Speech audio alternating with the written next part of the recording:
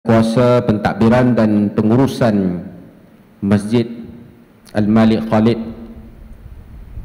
Seterusnya yang dimuliakan para alim ulama, tuan-tuan guru, para asatizah, para imam, para muadzin, tuan-tuan, puan-puan, ayah-ayah, ibu-ibu, muslimin muslimat yang dirahmati Allah. Pertama sekali marilah sama-sama kita berniat etikaf supaya beradanya kita di dalam rumah Allah ketika ini akan dicatat sebagai amal yang saleh.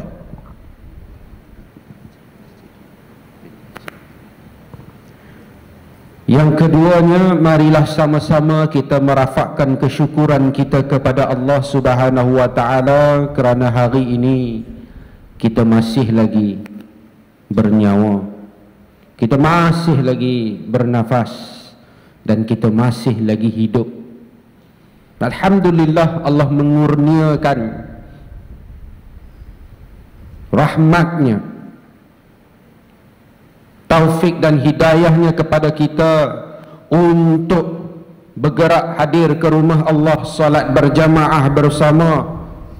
Dan Alhamdulillah duduk pula di dalam majlis ilmu dan mohonlah kepada Allah moga-moga kita ini akan terus istiqamah dekat dengan rumah Allah dan mencintai akan majlis ilmu sampai akhir hayat kita. Amin ya rabbal alamin.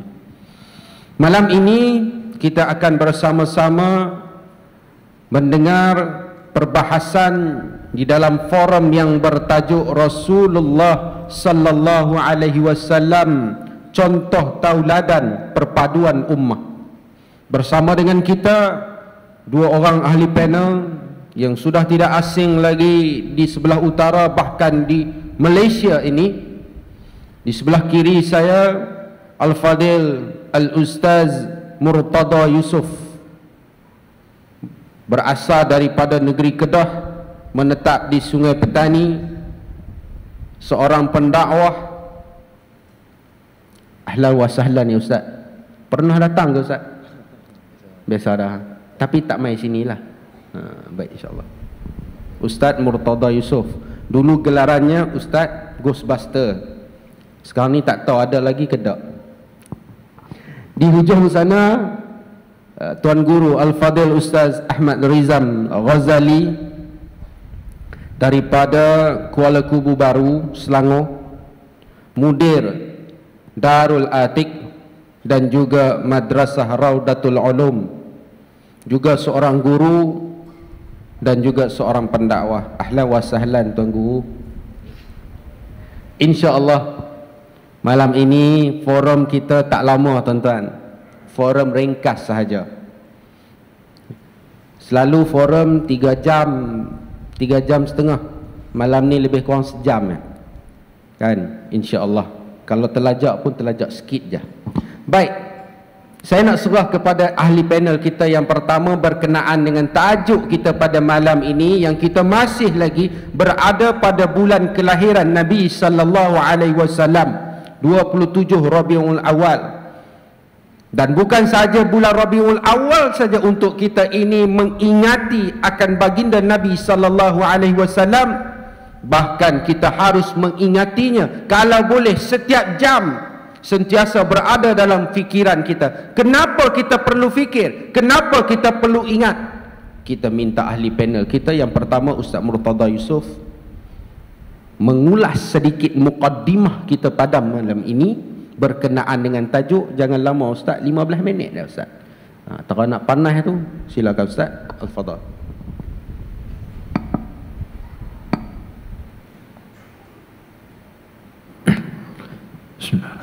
السلام عليكم ورحمة الله. الحمد لله. الحمد لله رب العالمين والصلاة والسلام على أشرف الأنبياء والمرسلين وعلى آله وصحبه أجمعين. رب اشرح لي صدري ويسر لي أمري وهل العقدة من لساني يفقه قولي. اللهم افتح علينا فتوح العارفين. وارزقنا فهم النبيين وجعلنا من عبادك الصالحين والمتقين. اللهم انفعنا بما علمتنا وعلمنا بما ينفعنا. ربنا زدنا علما. ربنا آتنا في الدنيا حسنة وفي الآخرة حسنة وقنا عذاب النار. اللهم انصر الإسلام والمسلمين والمجاهدين. خصوصا في الغزة وفي فلسطين وفي مصر وفي سوريا وفي اليمن وفي رحية وفي بلادنا ماليزيا خاصة. وفي كل مكان وفي كل زمان ربي يسر ولا تعسر رب تمم بالخير ولا حول ولا قوة إلا بالله العلي العظيم. أما بعد yang dihormati Tuan Moderator Al-Fadil Ustaz Anas Al-Arabi. Juga yang dikasihi lagi dihormati guru saya Tuan Guru Al-Fadil Ustaz Ahmad Rizam Ghazali yang datang jauh daripada Selangor.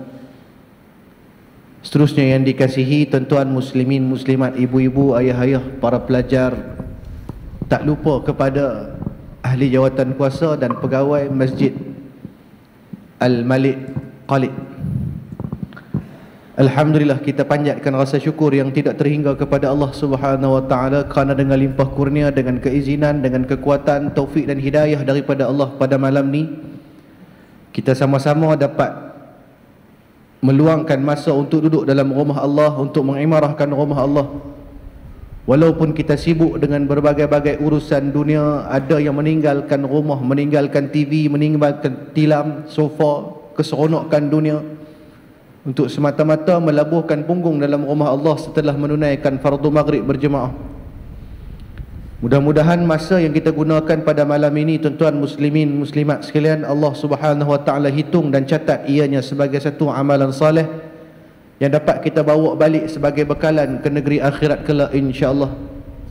Mudah-mudahan juga bersempena dengan bulan Rabiul Awal kita mengadakan berbagai-bagai program mengingati Nabi sallallahu alaihi wasallam baik daripada akhlak peribadi Nabi kita menyelami bagaimana pengorbanan sacrifice Nabi untuk Islam bagaimana dakwah Nabi tuan muslimin muslimat bagaimana mulianya akhlak Nabi sallallahu alaihi wasallam mudah-mudahan ianya menambahkan lagi rasa kasih cinta sayang kita pada baginda Nabi sallallahu alaihi wasallam dan mudah-mudahan Allah Taala kurniakan kita ilmu yang bermanfaat pada malam ini insya-Allah mudah-mudahan tuan-tuan Berbalik pada tajuk yang disebutkan sebentar tadi tuan-tuan muslimin muslimat. Jika sekiranya kita nak cerita, kita nak gambarkan berkenaan dengan baginda Nabi sallallahu alaihi wasallam ni. Nescaya tak cukup kalam dan masa pun takkan cukup kerana banyak sangat kehebatan baginda Nabi sallallahu alaihi wasallam.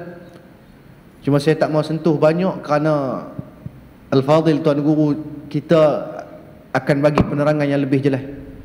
Kita nak cerita, saya nak cerita dan nak kongsi benda yang kita semua sudah tahu. Cuma kadang-kadang kita terlupa, kita panggil ulang mengaji, revise balik. Semua manusia, semua orang tahu, orang Islam ni dia tahu. Lahirnya Nabi pada bulan Rabiul Awal. Tarikh 12 hari bulan. Walaupun menjadi khilaf para ulama betapa berapa tarikh yang tepat lahirnya Nabi tetapi sebahagian besar dari di kalangan ulama mengatakan 12 Rabiul Awal. Ada ulama yang berpendapat 9 Rabiul Awal kerana berdasarkan falak Nabi dilahirkan pada hari Isnin, depa kembali balik, ulang-ulang-ulang balik 1400 tahun lebih bersamaan dengan tahun gajah, maka 9 hari bulan. Ada yang berpendapat 17 Rabiul Awal, ada yang kata 15 Rabiul Awal. Tapi yang ramai 12 Rabiul Awal. Tahun pula tahun gajah. Pasal apa pakai tahun gajah? Sedangkan di Arab Saudi, di Mekah, Madinah dan di sekitar tanah Arab, Jaziratul Arab, gajah ni sekok pun tak ada. Tiba-tiba bubuh nama tahun gajah. Awak tak bubuh tahun unta. Pasal unta banyak. Tuan-tuan, ini kerana Allah Taala nak tunjuk kehebatan dan kelebihan Nabi sallallahu alaihi wasallam sebelum dilahirkan Nabi lagi. Allah Taala nak tunjuk dah berlaku satu peristiwa hebat dalam bulan dalam apa dalam dalam keadaan sebelum lahir, lagi Nabi dilahirkan di kota Mekah tuan-tuan kalau kita tengok dalam kitab Tarikh Tabari diceritakan apa yang berlaku kira-kira enam bulan sebelum kelahiran baginda Nabi sallallahu alaihi wasallam satu serangan yang dipimpin oleh raja yang sangat zalim Datuk Seri Abraha. Ah, Perdana Menteri Yaman Gubernur di Yaman Abrahah ni dia Prime Minister Nampak? Bila dia ni Seorang Raja Gubernur di Yaman Abrahah tuan-tuan muslimin muslimat Dia membina satu bangunan yang disebut Al-Khulais. Bangunan yang nak lebih kurang sama dengan bentuk Kaabah. Dan ada berhala-berhala yang didirikan di sekitar bangunan Al-Khulais tersebut. Tujuan dia buat untuk ditarik orang mai ke negara dia. Nak lawan dengan Kaabah exactly bangunan yang yang nampak seakan-akan sama bila dia habis berjuta-juta buat projek bangunan Al-Khulais dengan berhala-berhala ni tengok-tengok tak dapat sambutan apabila tak dapat sambutan dia buat mesyuarat exco ahli mesyuarat kerajaan negeri dia panggil habis menteri-menteri dia Nampak? Dia buat postmortem. Kenapa bangunan yang kita buat punya cantik ni tak dapat sambutan? Menteri dia bagi cadangan, kita kena buat bos Datuk Seri. Saya rasa Datuk Seri kita kena buat benda-benda hiburan di sekitar bangunan Al-Qulais ni baru orang mai. Pasal orang suka pada hiburan. Maka dia pun anjurkan jom heboh, anugerah juara lagu, anugerah bintang popular, ada belakang. Macam-macam jenis program hiburan dibuat di sekitar di sekitar bangunan Al-Qulais ataupun berhala tersebut untuk tarik orang ramai. Ada minum yang ketum, ada roller coaster, macam-macam ah. Ada buai musim, ada rumah hantu, ada rumah hantu. Macam-macam passion hiburan diadakan di sekitar bangunan tersebut untuk menarik orang ramai. Buat habis projek banyak, tiba-tiba tak mai juga orang. Maka keputusan diambil untuk pergi ke Mekah nak robohkan Kaabah yang menjadi punca utama main reason depa punya bangunan tak laku. Dipersiapkan bala tentera. Ni pasal dapat nama Tun Gajah tu. Waktu ni Nabi SAW tak lahir lagi. Setengah tahun dipersiapkan segala bala tentera tuan muslimin muslimat untuk pergi ke Mekah nak serang Kaabah tapi bijaknya Abrahah ni tuan muslimin muslimat dia tak terus pergi serang kerana Mekah bukan dekat dengan Yaman dia nak tahu dulu bagaimana kedudukan orang Mekah, macam mana kedudukan tanah dia di berbukit, berbuka dan sebagainya ke. Dia hantar informer pi siasat dulu. Dua orang hampa ni, hampa pi Mekah, hampa tengok lagu mana perangai sifat penduduk Mekah. Jahiliah. Pi lah informer dia ke Mekah, tengok macam mana kedudukan orang-orang Mekah ni. Balik mai cerita, report dekat Abraha. Kata mereka pada Abraha, wahai Datuk, wahai Tuan Menteri, saya rasa kalau kita nak pergi serang Kaabah, nak masuk dalam Mekah, kalau kita pi dengan tentera saja tak mencukupi. Kerana orang-orang Mekah me memang depa ni jenis suka peperang, suka bergaduh, suka berbunuh-bunuhan. Orang panggil waktu tu orang-orang Mekah ni tuan-tuan, kepala masam belaka. Samsing kampung dusun. 30 line, 80 line, ada belaka. Salah sikit, gaduh. Salah sikit, gaduh. Salah sikit, berbunuh-bunuhan. Bukan masalah besar pun Masalah beli topak yang kadang-kadang Beli topak 10 ringgit Tiba-tiba kena bayar 10 ringgit nak upang. Alamak. Dia bakar kedai topak. Saya kata hari tu 10 ringgit ni kena bayar nak upang. Pemuhung paik Kalau di Mekah memang kena.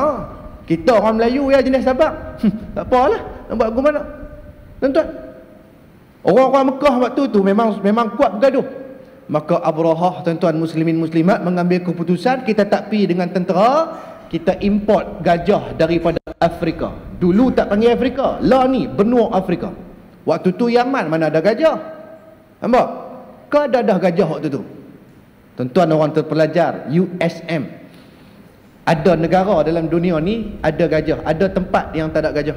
Malaysia ada gajah. Singapura tak ada gajah. China ada gajah. China. Negara China. Ha? Tak ada panda dah. Nampak? Gajah pakai bateri lama ah Cina. Sungguh tuan ni. Maka Abraha di Yaman dia tak ada gajah, tapi bijaknya dia nak menakut-nakutkan orang Mekah, dia import, dia beli gajah berbelah-belah ekor daripada benua Afrika. Untuk dijadikan binatang tunggang, dia pergi ke Mekah. Gajah yang dibeli itu tuan-tuan muslimin muslimat sekalian berukuran berapa kaki? 16 kaki. Bukan tekat 16 kaki, besar dia berapa? 12 tan seekor. Gadingnya saja kata para ulama 7 kaki sehingga 8 kaki gading gajah tersebut. Besarnya tuan-tuan ni. Kalau lah ni kita duk tengok National Geographic, tuan-tuan rajin nak tengok National Geographic. Tak ada astro. Kau duk tengok tanyalah ustaznya. Jangan bawa warak kan. Tak bisa tengok. Sultan datang. Animal Planet? Planet Bollywood? Ha, tu memang dia? Enggak. Esok ada petang pukul 2 sampai pukul 5. Tujhe dekha to ye jana sanam प्यार होता है दीवाना सनम अब यहाँ से कहाँ जाए हम इसके बाद तो ही मर जाए हम Masuk airway Tuji deka Lingkup tu Jangan marah ha? Tuan-tuan Eh tak mau Lagi dia pakai tahu Syaruk Khan main masjid hmm, Mampu eh Hmm. Tuan-tuan muslimin muslimat. Maka kita nak habaq apa tuan-tuan? Tengok ni, natang ni Allah Taala buat ni untuk kita kaji, untuk kita timbulkan rasa insaf kita hebatnya binatang berbanding manusia. Memang hebat manusia Allah Taala ciptakan manusia ni sebagai khalifah atas muka bumi. Allah Taala sebut dalam Quran surah Al-Baqarah wa idz qala rabbuka lil malaikati inni ja'ilun fil ardi khalifah. Qalu ataj'alu fiha man yufsidu fiha wa yasfiku ad-dima wa nahnu nusabbihu bihamdika wa nuqaddisu lak qala inni a'lamu ma la ta'lamun. Kata Allah pada para malaikat aku nak buat manusia ni jadi khalifah atas muka bumi. Malaikat tanya ya Allah tak cukupkah kami ya Allah yang sentiasa berzikir membesar memulia dan mensucikan kamu ya Allah? Takkan nak buat manusia jadi khalifah jadi ketua sedangkan kita tahu depa ni akan menumpahkan darah melakukan peperangan melakukan kerosakan atas muka bumi ni. Allah Taala kata qala inni a'lamu ma la ta'lamun. Aku lebih tahu pada hangpa ya benda yang hangpa tak tahu aku tahu dah tapi jangan kita sombong kerana kita manusia yang ada akal fikiran. Lebih kita daripada yang lain kerana akal fikiran. Banyaknya manusia lah ni akal tak guna. Sebab tu kadang-kadang lebih teruk daripada haiwan dan binatang. Ulaika kal an'am bal hum kata Allah. Lebih teruk pada binatang ternak. Al an'am binatang ternakan pasal apa tidak guna binatang liang? Pasal apa? Pakai binatang ternak. Pasal binatang ternak ni duduk bawah pada binatang liar. Dia nak kena bela, nak kena buat rumah, nak kena suar makanan, minuman dan sebagainya. Dia tak boleh survive. Kalau binatang liar, dia boleh survive. Tahu tak mana pun. Dia pandai cari makan, dia pandai buat rumah dan sebagainya. Nak cerita tuan-tuan, gajah yang diimport eh, oleh Abraha daripada Afrika ni, gajah yang sangat sangat besar. Kalau kita tengok lah ni pun dalam National Geographic, dalam dunia ni ada tujuh spesies gajah. Spesies terbesar benua Afrika. Spesies terkecil gajah Malaysia. Ha. Malaysia ni bukan takat gajah kecil, duit pun jatuh sedia-sedia. Nampak? Ha sungguh. Jadi tuan-tuan, gajah itulah yang dibawa oleh Abraha pergi ke Yaman. Sebut dalam kitab-kitab sirah, tarikh Ibnu Ishaq sebut ketua pada gajah, rombongan gajah tersebut ada seekor nama ketua gajah tu Mahmud. Gajah yang dinaiki oleh Abraha sebagai ketua berjalan gajah ni daripada Yaman beratus-ratus kilometer merentasi padang pasir untuk pergi ke Mekah bila dah berpuluh-puluh hari berjalan atas padang pasir tuan-tuan sampai nak dekat-dekat Mekah tak tak dekat sangatlah dekat Taif. Maka Abraha arahkan gajah tu dan tentera dia untuk berhenti. Kita berehat 2-3 hari. Sampai masa kita akan masuk dalam Mekah untuk kita robohkan Kaabah. Kerana Kaabah ni bukan bukan ikut dan kita nak roboh. Ada hari-hari tertentu. Berehat gajah-gajah berehat tentera Abraha sampai masa yang dijanjikan. Abraha arah ni. Jom siap sedia. Kita naik atas gajah masing-masing masuk dalam Mekah. Pakat naik gajah masing-masing gajah tak mau bangun. Nampak? Allah Ta'ala nak tunjuk kelebihan baginda Nabi sebelum dilahirkan. Nak hebat-hebatnya Nabi. Bila naik atas gajah gajah tak mau bangun. Padahal hidup jalan elok saat ni ratus kilometer daripada Yaman. Waktu tu bukan ada kapal terbang ni. Nak dekat sampai Mekah lebih kurang dekat-dekat 200 kilometer nak masuk dalam Mekah tuan daripada Taif. Gajah tu buat perangai tak mau bangun pula dah. Abraha pukul dengan besi yang tajam sehingga berdarah tubuh badan gajah tu. Dicederakan gajah tu dipaksa untuk bangun. Kita nak masuk Mekah dah. Tetap gajah tu tak mau bangun tuan-tuan. Bila dihadapkan kepala gajah itu ke arah Yaman, ke arah Syam, ke arah Mesir, bangun gajah tu berlari-lari. Tapi bila dihadapkan ke arah Mekah, gajah tu duduk balik. Nampak taatnya menatang yang nama gajah ni. Kata ulama dua sebab utama. Yang pertama sebab gajah tu tak mau bangun masuk dalam Mekah kerana gajah tu tahu yang dia masuk nak robohkan tu rumah Allah. Kaabah Baitullahil Haram. Kaabah ni asal perkataan Ka'bun, makna dia empat segi. Mana mungkin aku sebagai makhluk nak pergi robohkan Baitullahil Haram, nak pergi robohkan rumah Allah. Zalim sungguh aku. Tu gajah tak mau bangun sebab pertama. Sebab yang kedua kata ulama, hikmah gajah tu tak mau bangun walaupun dipukul berdarah tubuh badan. Sebab yang kedua kerana gajah tu tahu Ni kota Mekah yang aku nak masuk Rosakkan ni akan lahir seorang utusan Allah Akan lahir seorang Nabi daripada kota ni. Tak mungkin kaki aku dapat masuk Dan merosakkan kawasan yang akan lahir seorang Nabi. Gajah tak mau bangun. Bila tak mau bangun Abraha cemui Dia turun jalan kaki Bersama dengan tentera dia. Tinggalkan gajah-gajah yang ketegak Turun dia masuk berjalan kaki Dengan matlamat Intention satu saja Nak robohkan Kaabah Kalau tak boleh roboh Nak tarik buat balik tak di Yaman Tuan-tuan, nak bagi orang pi melawat Kaabah, nak pi ziarah, nak pi tawaf di Kaabah, pi di Yaman. Sampai lah ni tuan-tuan kalau tuan-tuan pi Yaman, ada satu tempat tempat Abraha buat Kaabah depa tu, masih lagi duk ada lah ni, tempat orang buang sampah jadi lah ni.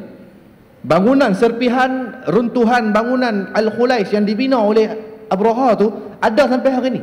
Jadi tempat orang buang sampah. Allah Taala hina ambil hari ni. Turun Abraha dengan tentera dia berjalan kaki. Maka tuan-tuan muslimin muslimat Allah Taala ajak sekali lagi manusia yang yang sombong dan bongkak dengan menatang. Allah Taala rakamkan dalam dalam Al-Quran, A'udzu billahi minasyaitonir rajim. Alam tara kaifa fa'ala rabbuka bi ashabil fil? Alam yaj'al kaydahum fi tadlil wa arsala 'alayhim tayran ababil tarmihim bihijaratin min sijil faj'alahum ka'asfin ma'kul kata Allah. Apakah kamu tidak melihat bagaimana kami memperlakukan ke atas tentera bergajah yang dipimpin oleh Abraha? Allah Ta'ala nak suruh kita tengok, suruh kita kaji, suruh kita ambil manfaat dan pengajaran daripada apa yang berlaku kepada tentera Abraha yang begitu hebat kerajaan Abraha ni tuan-tuan ni. Cukup lengkap pakaian tentera dan alat ketenteraan. Mereka masuk dalam dalam Mekah untuk robohkan Kaabah. Waktu tu pi mana habis orang-orang Mekah yang samsing-samsing? Yang kata taekwondo black belt tok guru tomoy tok guru silat ada belakang ada bergaduh kerak ni. Mana pi depa ni? Takkan orang masuk kampung hampa hampa hampa biak saja kot orang Mekah waktu tu lari terabuk habis dah nyorok. Pasal depa tak bisa tengok natang yang Abraha bawa iaitu gajah. Yang depa tengok tu dia natang apa besar nak mampu ni. Gigi dua batang punya panjang. Tak makan cekok lawan dengan pedang ni. Lari menyorok belakang bukit. Ayah anda yang anda kawasan pun. Tahu ni? Masuk Abraha relax ni jalan kaki dengan tentera dia. Nak robohkan Kaabah. Allah Taala hantar mai tentera Allah, jet-jet pejuang, tapi bukan F-16, bukan F-19. Burung ababil ya. Burung yang yang pada pandangan kita sangat lemah tuan. Burung yang kecil ya. Mai burung tu beribu ekor Allah Taala hantar tuan ni. Terbang di atas udara. Atas tentera Abraha yang ramai tuan-tuan. Mai saja ke burung tu dia tak buat pertunjukan saja keluar asap hijau, kelabu, pusing-pusing-pusing, dia gulung mai kok macam-macam pasien. Tak mai saja, mai atas perintah Allah. Burung ni mai untuk menyerang tentera Abraha. Apa yang depa buat? Depa bawa bom. Tarmihim bihijaratin min sijil kata Allah. Maka depa ni tuan-tuan, burung-burung ababil ni depa bawa batu sijil ataupun bom, batu api Sekok burung, tiga ketui bara api. Dua pegang di kaki, satu pegang di paruh. Lalu atas tentera Abraha. Termihim bihijaratin min sijil. Maka dilemparkan, dilepaskan, dibaling. Batu-batu api ini terkena habis tentera Abraha. Nampak? Burung yang pada pandangan kita lemah tuan-tuan ni. Tapi sebenarnya hebat. Allah Ta'ala ajak kita dengan menatang. Supaya bila kita tengok apa-apa haiwan pun, kita balikkan pujian kepada Allah. Kerana haiwan ni tuan-tuan, satu makhluk yang Allah Ta'ala cipta untuk manusia ambil manfaat. Tengok kucing kita duduk tengah makan di kedai makan. Allah Taala hantar mai kucing sekok, mai duk serendeh di kaki. Miau. Miau. Dia nak hantar apa? Dia mai serendeh kaki kita dia nak hantar apa? Dia nak makan sikit. Dah kita tengah makan, kepok lah sikit, tok pergi kat kucing. Kita buat apa kat kucing tu? Siapa muhum dosa? Dah ah, kalau hampa tengah duk makan, makan sempur punya ni kari kapal ikan. Hmm, sedap, ustaz. Sedaplah ustaz, dia punya kari kabel ikan, geleng kepala. Tengah duk makan, kucing main di kaki. Kita buat apa? Takbir buka main, Allahu Akbar. Pantang ada ceramah pi. Serban besar bakui. Mai kucing Allah Taala hantar, orang tak tengok kita. Kita buat apa kat kucing? Terajang ni, hmm, pi sana. Terandai kucing tu di dinding tu, 3 km belah pi. Eh, sakit. Dia bunyi tu kita tak dengar dia kata apa? Hang tunggu hang di akhirat aku catat tuntut bela. Padahal dia main minta sikit yang makanan. Apa salah kita koyak bagi? Bukan rugi, bukan bankrupt, bukan muflis pun. GST pun tak kena. Nak lagi bagus kita order toke, satu nasi, satu pinggan nasi, bubuh ikan seketul, nak bagi makan kucing, tiga ringgit eh. Tak rugi langsung. Kita mudahkan urusan datang tuan-tuan ni. Kucing tu main minta dengan lembut, dia main serendeh di kaki. Dia bukan main terjun tapi kedebung, main mi goreng sepinggan. Mana ada tuan ni dia minta elok. Ya tapi dah kita kedekut tidur masin depan orang kita nampak warak depan orang ni lambat tabung lalu weh. Cuy buat keluar ni. 50 ringgit ni betul. Tau cuy tengok sat cuy nak bubuh dalam tabung? Punya riok dia nak bubuh 50 ringgit tu kali kali pertama semua hidup tu. Tuan ni. Tidak seringgit dia. Tapi kalau kucing main tengok apa kita buat kat kucing kurang-kurang kita bagi makan sikit tuan ni muslim muslimat tapi nampak Allah Ta'ala hantar untuk kita ambil pengajaran. Tapi kita tak ambil ibrah. Tengok burung Allah Ta'ala hantar. Serang tentera Abraha. Lingkupkan tentera Abraha yang begitu hebat dengan burung yang kecil. Burung ababil. Yang tak ada bisa. Yang terbang kuat atas udara. Ya. Hebat tak hebat burung ni tuan-tuan ni. Kalau tuan-tuan tengok National Geographic. Ada satu burung. Nama dia Falco. Falco bird. Dia ni migration bird. Dia boleh terbang tuan-tuan muslimin muslimat. Berhijrah daripada Alaska pi ke nu Argentina utara. 2000 km sekali ia berhenti RNR makan kedara makan uh, semayang nyamak burung tu terbang 2000 kilo. Sayap ada 3 inci panjang. 2000 kilo berhenti sekali ya pi utara Argentina. Buat hebatnya tuan-tuan ni. Datang ciptaan Allah. Enjin tak ada minyak tak ada bubuh kita minyak nak bubuh apa terbang MH370 M Airbus 380 paling besar punya kapal terbang di dunia Airbus 380 nampak? Pakai enjin apa? McDonnell Douglas 4 biji enjin. Dia tak pakai enjin Pro 2 tak tak terbang ni. Tuan ni sayap saja sebelah 80 meter pakai turbine charge pula tu. Boleh naik ada 3 tingkat berapa ribu orang penumpang boleh muat dengan izin Allah kapal itu terbang. Kalau Allah Ta'ala tak izin besi yang berat tu tak boleh terbang. Nampak? Tengok kapal, kapal atas laut. Benda ni semua nak meningkatkan iman kita. Bila kita tengok dengan mata, kita balikkan pujian kepada Allah, bertambah iman kita. Kita recharge balik iman kita yang sentiasa tunduk indikator nak lemah ni, nak bunyi, nak bunyi, nak bunyi. Kalau handphone kita, bateri bateri bunyi nak habis tuan ni, klet klet klet klet, kita pun cepat-cepat cari charger, betul tak? Pasal apa? Kita tahu kalau bateri ku habis, payah kerja. Nak mesej, WhatsApp, update Facebook, Instagram, Twitter, ada belakang. Payah Handphone beli mahal-mahal iPhone 6 3200 Tiba-tiba tak ada bateri. Guna tak iPhone tu? Ada guna tak handphone mahal yang tak ada bateri? Tak ada. Satu yang guna handphone mahal yang tak ada bateri ni Abang tengalung anjing kalau kena ligan Tu ya. Kalau tiga-tiga sekupang Ikat dengan getah Bubul tape pencil pula tepi tu buat area. Ada bateri Manfaat tak? Manfaat boleh beringging ulang. Entah ni. Ha, Itulah iman kita. Kalau handphone kita cepat cari charger Iman kita yang duk lemah tiap-tiap hari ni, tak mana kita nak cari charger? Pergi tanya di kedai Cina, kedai handphone Cina, apa ya? Uh, iman punya charger ada. Apa tu kata ni sama? Mana ada di kedai? Nak cari tak mana charger iman? Masjid surau ha? kuliah-kuliah agama, majlis-majlis fardu ain. Tang situlah terletak charger iman kita. Kita main letak punggung tu, kita charge tu, charge iman. Dia naik, naik, naik, naik. Balik daripada kuliah lagi, tengok awet. Uh, lawanya, turun sikit. makan pula makan kedarah tak ikut tak tak jaga kan. Pi duduk lagi dah mi mi orang orang kapiak buat benda ni. Makan oh, sedap oh mi turun sikit.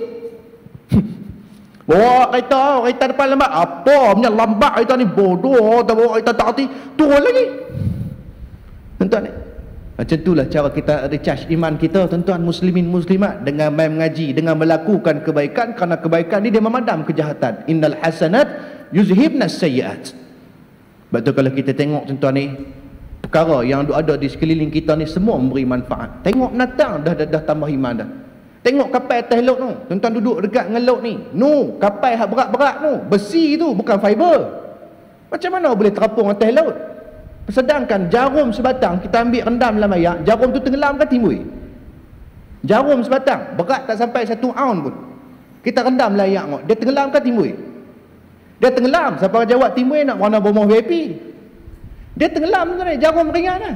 Tapi nu Titanic boleh terapung atas air berat 46 ribu tan kuasa kuda horsepower 60 ribu horsepower. Ada serombong pula empat.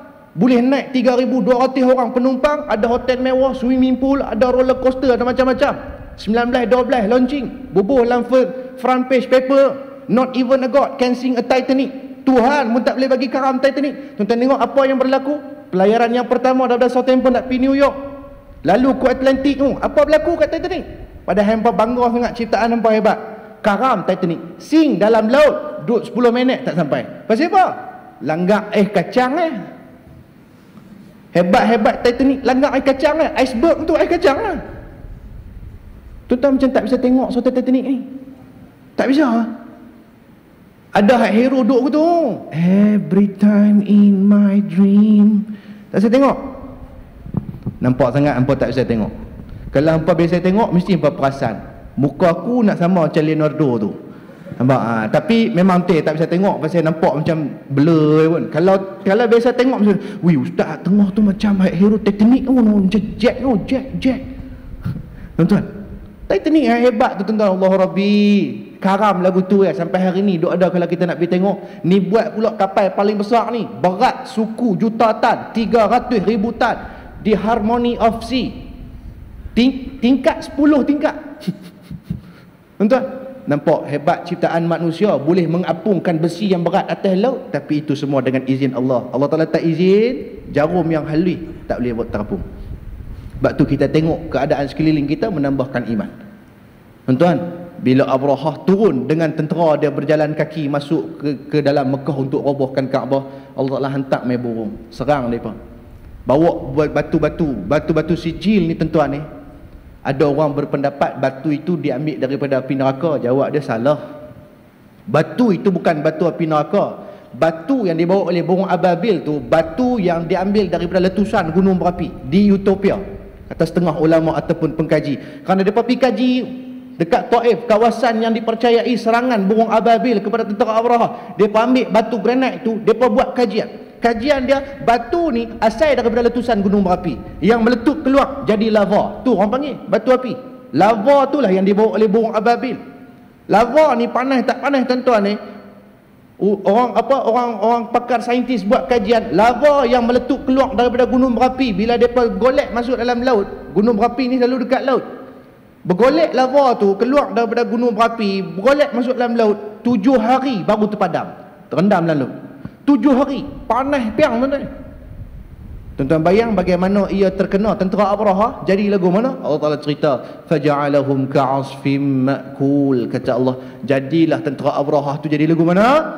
Umpama daun-daun yang berlubang di mamah ulan Berlubang habis tubuh badan. Masak daging-daging Berasak daging Mati bergelimpangan Kerana serangan burung ababil Yang membawa batu sijil ya tuan-tuan Nak robohkan Kaabah Ingat hang siapa? Kerajaan hang hebat, hang jangan sombong. Allah Taala pesan kat kita wala tamshi fil ardi maraha. Jangan kamu berjalan atas muka bumi aku ni dalam keadaan bokok sombong. Dalam ayat yang lain Allah Taala peringat wa khuliqal insanu dha'ifa. Kami jadikan manusia ni lemah koman sepana, cak ayam belaka. Itu tak sombong siapa? Tu'til mulka mimman tasha wa tanzi'u mulka mimman tasha. Allah Taala bagi pada siapa kuasa yang dia nak. Dia ditarik bila-bila masa daripada siapa yang dia nak. Sebab tu tuan-tuan muslimat, di antara hikmah berlakunya serangan tentera bergajah ni Allah Taala nak tunjuk kehebatan Nabi sallallahu alaihi wasallam sebelum Nabi dilahirkan.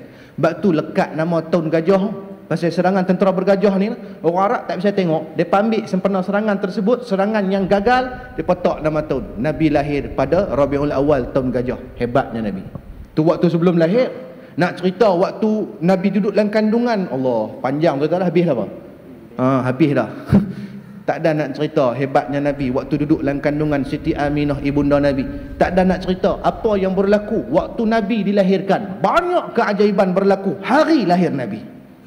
InsyaAllah kita akan sambung pada uh, round yang kedua. Ada berapa round ni? Dua roundnya. Patut 8 round. Uh, pasal kita dengan dunia 8 jam.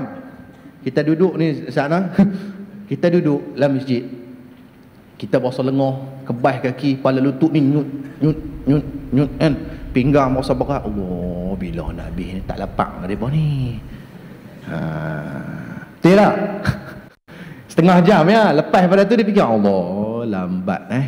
Baik balik tengok cerita CSI Las Vegas. Nampak? Bila nak habis tahu dia tak letih lengah ke apa. Cakap minum air benda apa bila tahu duduk dia kira tu iblis Matthew. Apa jaga? Duduk dalam masjid buat ibadah. Iblis tak suka tengok dia menjerit marah dia tengok. Dia kita main kita dia bisik. Dia bawa tiga benda. Yang pertama iblis bawa lipstick gincu. Macam-macam brand ada. Nampak aku putih aku putih barulah putih muah ada hebat pada tu lagi hak najak laris ada juga macam-macam brand ada dia calik di mulut kita bila dia calik di mulut kita, kita cakap tak berhenti.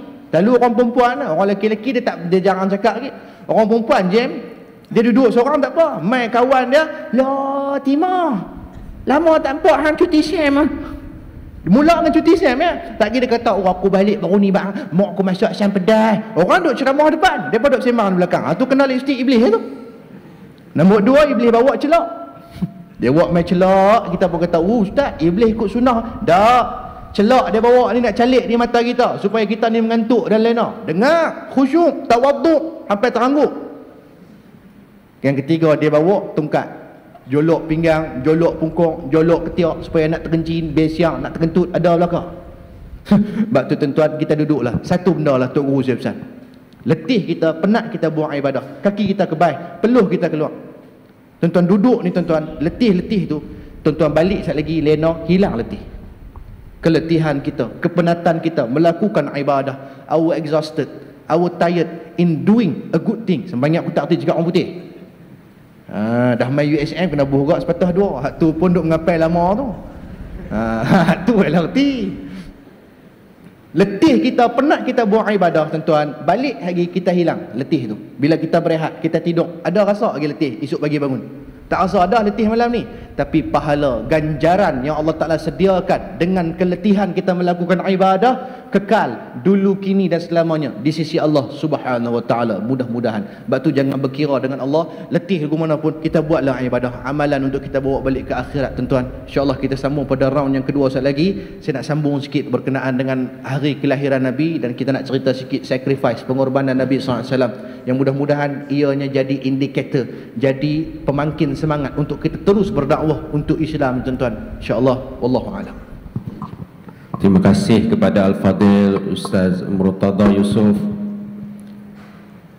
Nak sampai kepada kisah pengenalan mukaddimah sirah Nabi itu Dibawa daripada serangan tentera Abraha. Makan masa sampai tak sempat sentuh. Mukaddimah kita pengenalan tentang Nabi SAW Masuk pula cerita pasal Titanic Kan? Ha, Jack, Jack ada dua kalau Titanic yang tak tutup tak?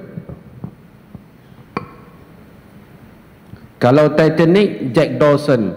Tapi nampak macam Jack Sparrow Ustaz. Jack juga nah. Baik insya-Allah muslimin dan muslimat yang dirahmati Allah. Terima kasih kepada Al-Fadhil Ustaz Murtada. Insya-Allah kita akan sambung ke pusingan yang kedua. Kita pergi kepada Tuan Guru Al-Fadhil Ustaz Ahmad Rizam Ghazali panel yang kedua pada pusingan yang pertama ini. Sebelum itu, uh, kita sekarang bersiaran langsung di Abu Khadijah Studio. Jadi muslimin dan muslimat yang mana mungkin ada sahabat-sahabat yang tidak dapat hadir bersama, bolehlah uh, share, kongsi uh, link daripada YouTube channel Abu Khadijah Studio insya-Allah. Jadi ustaz, soalan yang pertama kita minta ustaz ulaskan sedikit ataupun sebagai mukaddimah kita untuk mengenali sebelum kita cerita lebih lanjut dan lebih mendalam tentang contoh tauladan. Hari ini ustaz minta uh, huraikan, bayangkan dan gambarkan kepada kita tentang kepribadian baginda Nabi sallallahu alaihi wasallam yang sememangnya insan yang mulia dan dimuliakan sebagai contoh untuk seluruh umat baginda. Jadi insya-Allah 15 minit untuk ustaz. Tafadhal ya ustaz.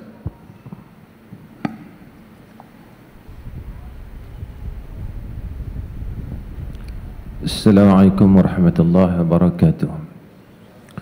Alhamdulillah rabbil alamin wassalatu wassalamu ala asyrafil anbiya wal mursalin وعلى آله وصحبه أجمعين.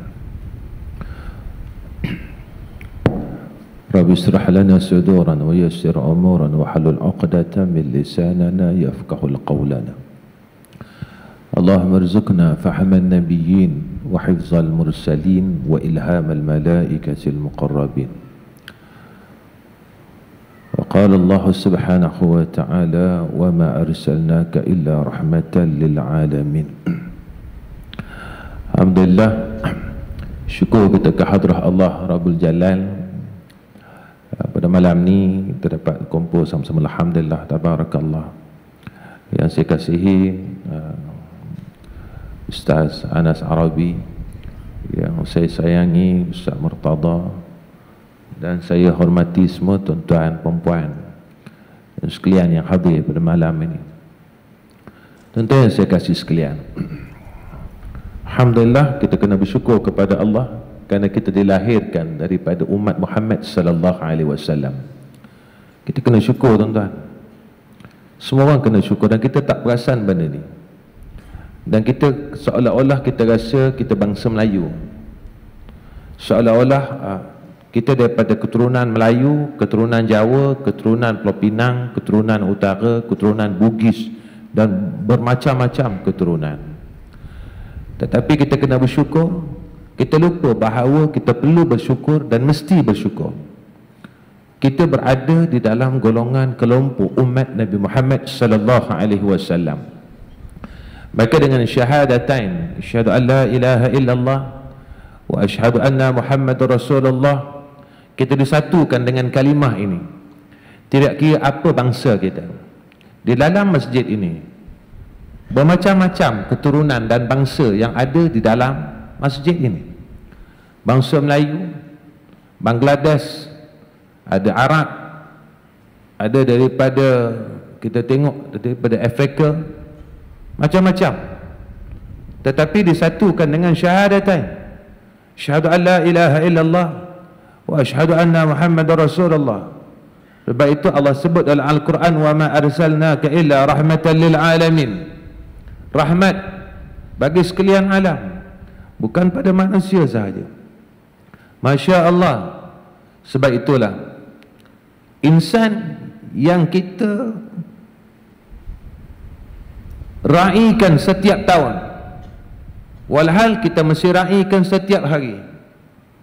Saya lihat satu kata-kata daripada uh, seorang habib Masya Allah cumanya sekarang ni masalahnya zaman kita zaman keyboard warrior dia tak boleh, dia tak faham dia main hentam Habib ini dia kata Alhamdulillah dengan kedatangan 12 Rabiul Awal ini kita dikurniakan oleh Allah Subhanahu wa taala Lailatul Qadar. Baik. Orang yang otak dia asyik tengok Facebook dengan WhatsApp, dia memang nak entam. Faham sikit perkataan ni. Supaya kita jelas. Ni kalam ulama, ulama nak sebut begini. Apa ada pada 12 Rabiul Awal? yaitu kelahiran Nabi kita Muhammad sallallahu alaihi wasallam. Maka dengan Allah Taala lahirkan Allah Taala utuskan Nabi Muhammad sallallahu alaihi wasallam. Dengan syafaat Nabi kita Muhammad sallallahu alaihi wasallam. Maka Ramadan itu adanya Lailatul Qadar. Zaman Nabi Musa ada Lailatul Qadar tuan-tuan. Zaman Nabi Ibrahim ada Lailatul Qadar. Zaman Nabi Adam alaihissalam ada Lailatul Qadar. Zaman Nabi Nuh zaman Nabi Ibrahim, zaman Nabi Elias dan nabi-nabi sebelumnya tidak ada Lailatul Qadar. Tetapi dengan datangnya dengan barakahnya kelahiran Nabi kita Muhammad sallallahu alaihi wasallam, maka kita perolehi Lailatul Qadar. Kita perolehi Lailatul Qadar. Kita perolehi Lailatul Qadar bi syafa'ati Nabi Muhammad sallallahu alaihi wasallam. Sebab itu kita kena bersyukur dengan Allah. Kita berterima kasih dengan Allah la in syakartum la azidannakum wa la in kafartum inna azabi la syadid bagaimana seseorang itu kena bersyukur kepada Allah Subhanahu wa taala yaitu mereka hendaklah beriman dengan Nabi Muhammad sallallahu alaihi wasallam dan membenarkan apa yang dibawa oleh Nabi Muhammad sallallahu alaihi wasallam dan juga beramal dengan apa yang Nabi Muhammad bawa kepada kita bagi tahu dengan kita melalui beberapa hadis dan asar yang datang daripada lisan Nabi Muhammad sallallahu alaihi wasallam. Wa qala Allah subhanahu wa ta'ala wa ma yantiqu 'anil hawa illa wahyun yuha. Maka Nabi satukan kita dengan Islam. Nabi satukan kita dengan dinul Islam. Nabi satukan kita dengan agama Allah Nabi satukan kita dengan syariat yang dibawa oleh Nabi Muhammad sallallahu alaihi wasallam yang mana ad-din itu syariat itu datang daripada Allah yang dinamakan agama samawiyah. Sebab itu kita kena bersyukur dengan Allah. Tonton hadir pada malam ini bukan sebab tonton Melayu. Tonton hadir pada malam ini tonton bukan sebab tonton bangsa Arab. Tonton hadir pada malam ini tonton bukan daripada Afrika. Tapi tonton hadir di dalam masjid Malik Al-Khalid ini adalah sebagai tonton sebagai seorang Islam yang telah berikrar dengan ikrar syahadatain asyhadu alla ilaha illallah wa asyhadu anna muhammadar rasulullah. Maka sebab itulah Masya Allah Apa yang kita dapat Maka dengan kita selalu sebut nama Nabi Muhammad sallallahu alaihi wasallam. Maka kita kena tanya dalam diri kita, sejauh manakah kecintaan kita pada Nabi Muhammad sallallahu alaihi wasallam? Sejauh manakah kita merasakan kasih kita pada Rasulullah sallallahu alaihi wasallam? Tuan-tuan, selalu orang kata, masya-Allah, Inna Allah la yanzur ila suarikum wa la ajsamukum walakin Allah yanzur ila qulubikum. Kita selalu dengar perkataan ini keluar. Allah Ta'ala tak tengok rupa kamu, tubuh badan kamu tapi Allah Ta'ala tengok hati kamu. Tuan-tuan. Tuan-tuan nak kenal Masya Allah orang yang kerja dengan KFC tuan-tuan akan kenal baju dia pakai. Tuan-tuan nak kenal yang ni polis tuan-tuan. Tuan-tuan kenal baju uniform yang polis pakai. Tuan-tuan nak kenal yang ini Masya Allah yang bawa surat Masya Allah kita kata dia akan pakai baju postman kita nak kenal siapa dia? Islam. Islam. Sebab Rasulullah sallallahu alaihi wasallam masya-Allah Rasulullah tunjukkan kepada kita akan kehebatan daripada sudut pakaian Islam daripada sudut peribadi Islam.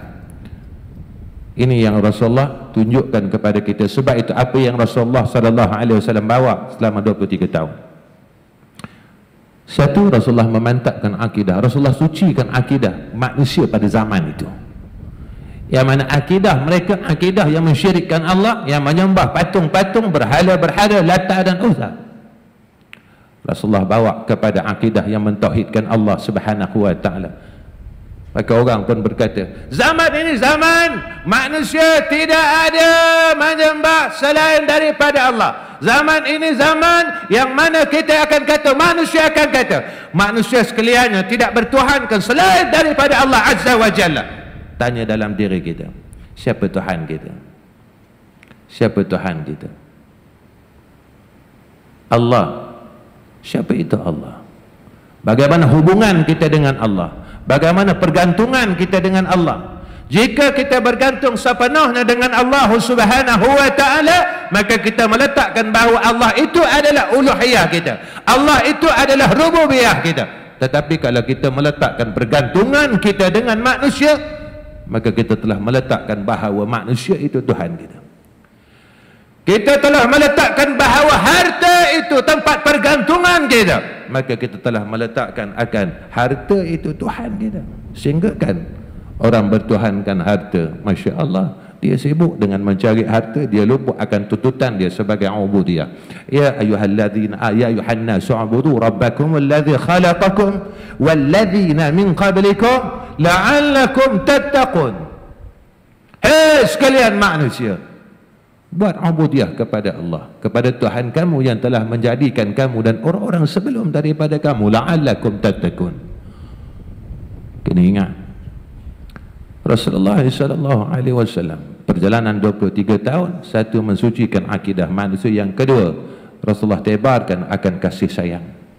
La yu'minu ahadukum hatta yuhibba li akhihi ma yuhibbu li nafsihi. Sebab tuan-tuan masya-Allah ada satu doa yang tidak digunakan oleh Rasulullah sallallahu alaihi wasallam. Nabi-nabi dulu per, semuanya telah menggunakan doa ini. Rasulullah simpan. Bila mana Rasulullah sallallahu alaihi wasallam guna doa ini? Yaitu di amal akhirah. Di yaumul akhirah. Nabi-Nabi yang sebelumnya telah menggunakan doa ini doa-doa satu doa yang pasti mustajab Rasulullah tak gunakan di dalam dunia tapi digunakan di yaumul akhirah nak bagi tahu tentang la yu'minu ahadukum hatta yuhibba li akhihi ma yuhibbu li nafsihi Untuk apa Rasulullah gunakan doa ini? Yaitu untuk orang-orang yang berdosa kepada Allah subhanahu wa ta'ala. Bukan untuk orang yang berairi hisab. Orang yang berairi hisab semua masuk syurga Allah subhanahu wa ta'ala. Tapi orang yang dalam keadaan yang berdosa, menanggung dosa akan dicampakkan ke dalam neraka Allah Subhanahu wa taala. Maka Rasulullah sallallahu alaihi wasallam guna kesempatan ini, guna akan doa ini. Lalu Rasulullah sallallahu alaihi wasallam sujud di hadapan Allah Rabbul Jalal.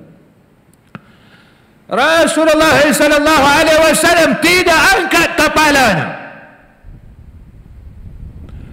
maka Allah memerintahkan kepada Nabi Muhammad sallallahu alaihi wasallam ya Muhammad ya habibi ya Muhammad angkat kepala kamu dan bagi tahu kepada aku apakah sebabnya engkau sujud ke hadrah aku sehingga engkau tidak mahu angkat kepala kamu.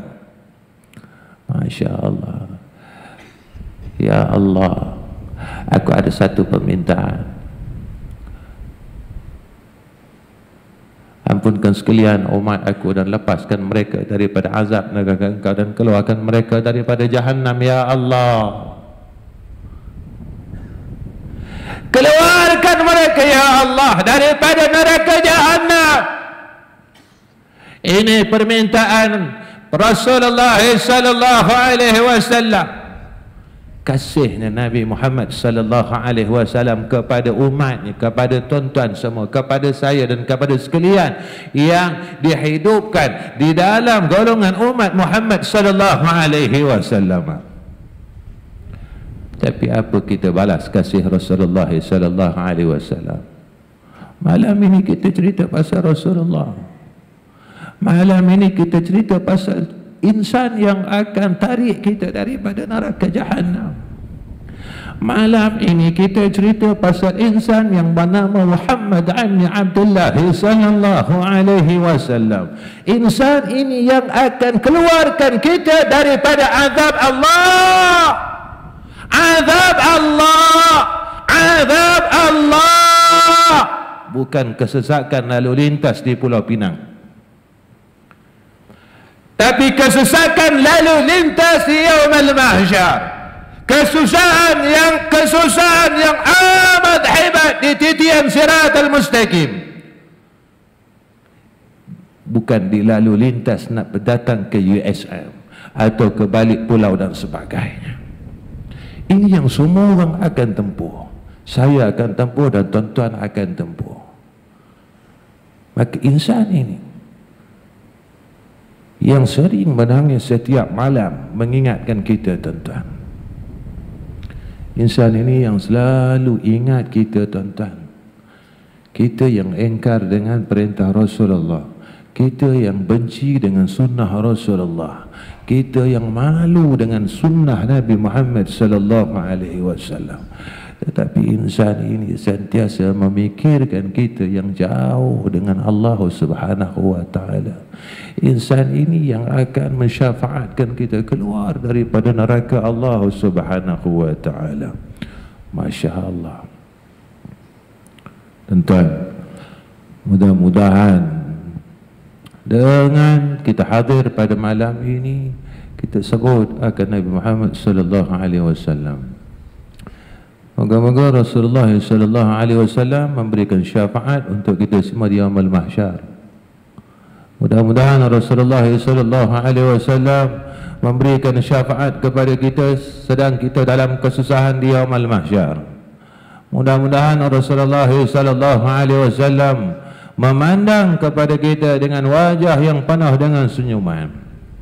Mudah-mudahan Rasulullah sallallahu alaihi wasallam akan pimpin tangan kita menuju titian siratal mustaqim. Mudah-mudahan Rasulullah sallallahu alaihi wasallam akan meletakkan serbannya dan juga dan juga ketayapnya, kopiahnya di mizan yakni timbangan amal yang mana amal kita ini banyak kejahatan daripada kebaikan. Apa yang kita buat pada malam ini adalah satu kebaikan yang terlalu sedikit. Kebaikan yang kita buat adalah satu kebaikan yang sedikit. Waktu yang kita luangkan untuk Allah. Waktu yang kita luangkan untuk agama. Waktu yang kita luangkan untuk kebaikan. Adalah satu waktu yang terlalu sedikit Untuk kita bandingkan apa yang telah kita buang. Apa yang telah kita gunakan. Apa yang telah kita pakaikan. Untuk dunia. Selama mana kita hidup. Wa qala Allah subhanahu wa ta'ala. Wal asri. إن الإنسان لفي خسر إلا الذين آمنوا وعملوا الصالحات وتواسوا بالحق وتواسوا بالصبر demi masa. Umur kita berapa sekarang tuan-tuan? Ada yang telah 40 tahun lebih 50 tahun lebih. Apa yang guna pakai umur yang ada pada kita ini? Apakah dengan agama dengan iman ataupun kita gunakan ke arah keimanan dan ke arah amal salah atau kita guna pakai untuk keduniaan semata-mata yang kita tidak akan bawa menemui Allah Subhanahu wa taala. Contoh yang saya kasih sekalian. Maka kita saya akhirkan uh, kalam saya ini dengan selawat atas Nabi Muhammad sallallahu alaihi wasallam kita baca 11 kali insya-Allah mudah-mudahan dengan salat ala Nabi kita akan dapat syafaat dalam majlis ini insya-Allah taala مولاي صل وسلم دائما ابدا على حبيبك خير الخلق كلهم مولاي صل وسلم دائما أبدا على حبيبك خير الخلق كلهم مولاي. Allahumma salli ala Muhammad sallu ala Nabi. Apakah tuan-tuan tidak ada lisan tidak ada lidah tidak ada suara untuk selawat pada Rasulullah? Apakah tuan-tuan sombong dengan Rasulullah? Apakah tuan-tuan bisu untuk berselawat pada Rasulullah? Apa kita ini boleh kita bangga dengan harta tuan-tuan pangkat tuan-tuan? Tuan-tuan tidak mahu selawat atas Rasulullah. Tuan-tuan siapa kita tuan-tuan apa kita sombong dengan Muhammad? Apa kita sombong dengan insan ini? Allahumma salli ala Muhammad. Maulaya salli wa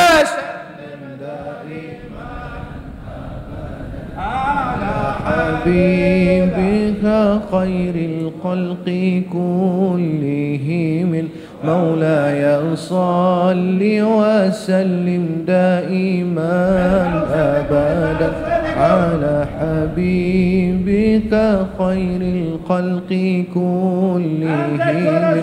مولاي صل وسلم دائما أبدا على حبيبك خير الخلق كلهم. مولاي صل وسلم دائما أبدا على حبيبك خير الخلق كلهم.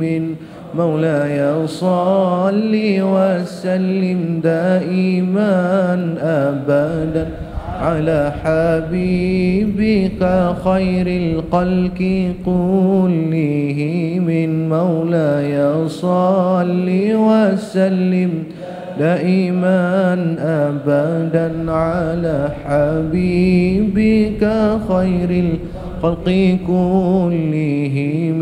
مولاي صل وسلم دائما أبدا على حبيبك خير الخلق كلهم. مولاي صل وسلم دائما أبدا على حبيبك خير الخلق كلهم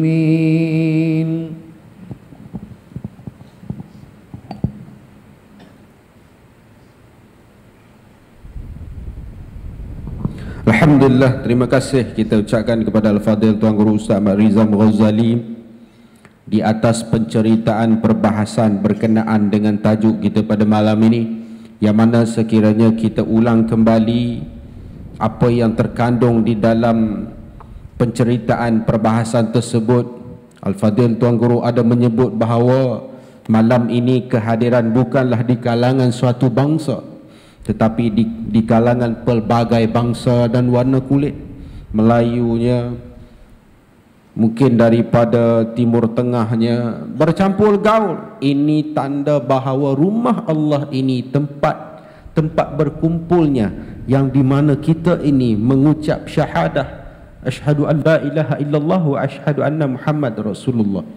Ni kalau kita imbas kembali ataupun nak cerita bagaimana kata Islam itu boleh menyatu padukan umat. Nabi sallallahu alaihi wasallam membawa kasih sayang, membawa bukan nabi itu diturunkan untuk menghukum umat manusia tidak, tetapi untuk mengelakkan daripada mereka ini dihukum.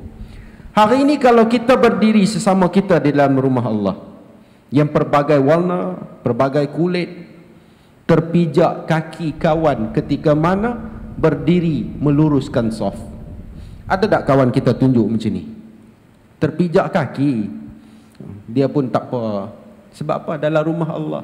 Masing-masing berdiri untuk menghadap Allah Rabbul Jalil. Tapi antara kita juga yang katanya mengucap kalimah syahadah ini yang mengaku umat Nabi sallallahu alaihi wasallam yang tadinya bertemu di dalam saf di dalam masjid apabila di luar nanti berselisih kereta picit hon nah tunjuk penumbuk maka ketika itu perpaduan ummah yang kita cerita malam ni hanya untuk dalam rumah Allah saja. Hanya untuk dalam masjid saja. Keluar daripada masjid kita bukan lagi ummah. Kita bukan lagi saudara. Maka malam ini atas satu nama Islam. Atas satu Tuhan yang Esa Allah Rabbul Jalil. Dengan sifat kasih sayang Nabi sallallahu alaihi wasallam rahmatan lil alamin. Kasih sayangnya itu bukan hanya di dunia sehingga ke akhirat menyelamatkan keseluruhan umat manusia. Cuba menyelamatkan dengan izin Allah seperti mana yang disebut oleh tuan guru tadi. Daripada suatu hadis yang panjang riwayat al Imam Bukhari wa Muslim Nabi sallallahu alaihi wasallam empat kali sujud kepada Allah memohon kepada Allah satu persatu sehingga akhirnya yang mana ketika itu para-para nabi dan rasul yang lain berada di dalam syurga menikmati nikmat daripada Allah. Tetapi apa kata Nabi sallallahu alaihi wasallam? Para nabi dan para rasul mereka itu disediakan mimbar-mimbar yang terbuat daripada cahaya. Kesemuanya duduk di atas mimbar tersebut kecuali aku itulah kasih sayang. Kasih sayang kepada kita. Tetapi kita sengaja melupa ataupun berpaling daripada kasih sayang tersebut. Betapa kita susah untuk berselawat. Kalau tidak kerana selawat di dalam solat maka mungkin hari yang berlalu itu masa yang berlalu itu kita tidak sedikit pun mengingati akan baginda Nabi sallallahu alaihi wasallam maka dengan itu perbanyakkanlah selawat bukan saja di hari Jumaat bukan saja di bulan Rabiul Awal malahan setiap masa paling kurang sehari kita latih diri kita bulan ini masih lagi bulan Januari Masih lagi di awal tahun kalau dikira sebagai kalender Masihi. Bulan ini aku lazimkan diri aku setiap hari seribu selawat. Tak lama mana tuan-tuan, tak sampai sejam. Lebih kurang 15 minit ke 20 minit untuk menghabiskan seribu selawat kepada Nabi. Bulan hadapan aku upgrade lagi jadi dua ribu. Begitulah cara kita untuk mengingati salah satu cara yang daripada ribuan cara untuk kita ini tunjuk kasih sayang kepada Nabi dan moga-moga kita selawat ini akan sampai kepada baginda sallallahu alaihi wasallam dan moga-moga baginda mengenali akan nama dan wajah kita di akhirat kelak. Saya nak serah kepada Al-Fadil Ustaz Murtada Yusof untuk pusingan yang kedua kita pada malam ini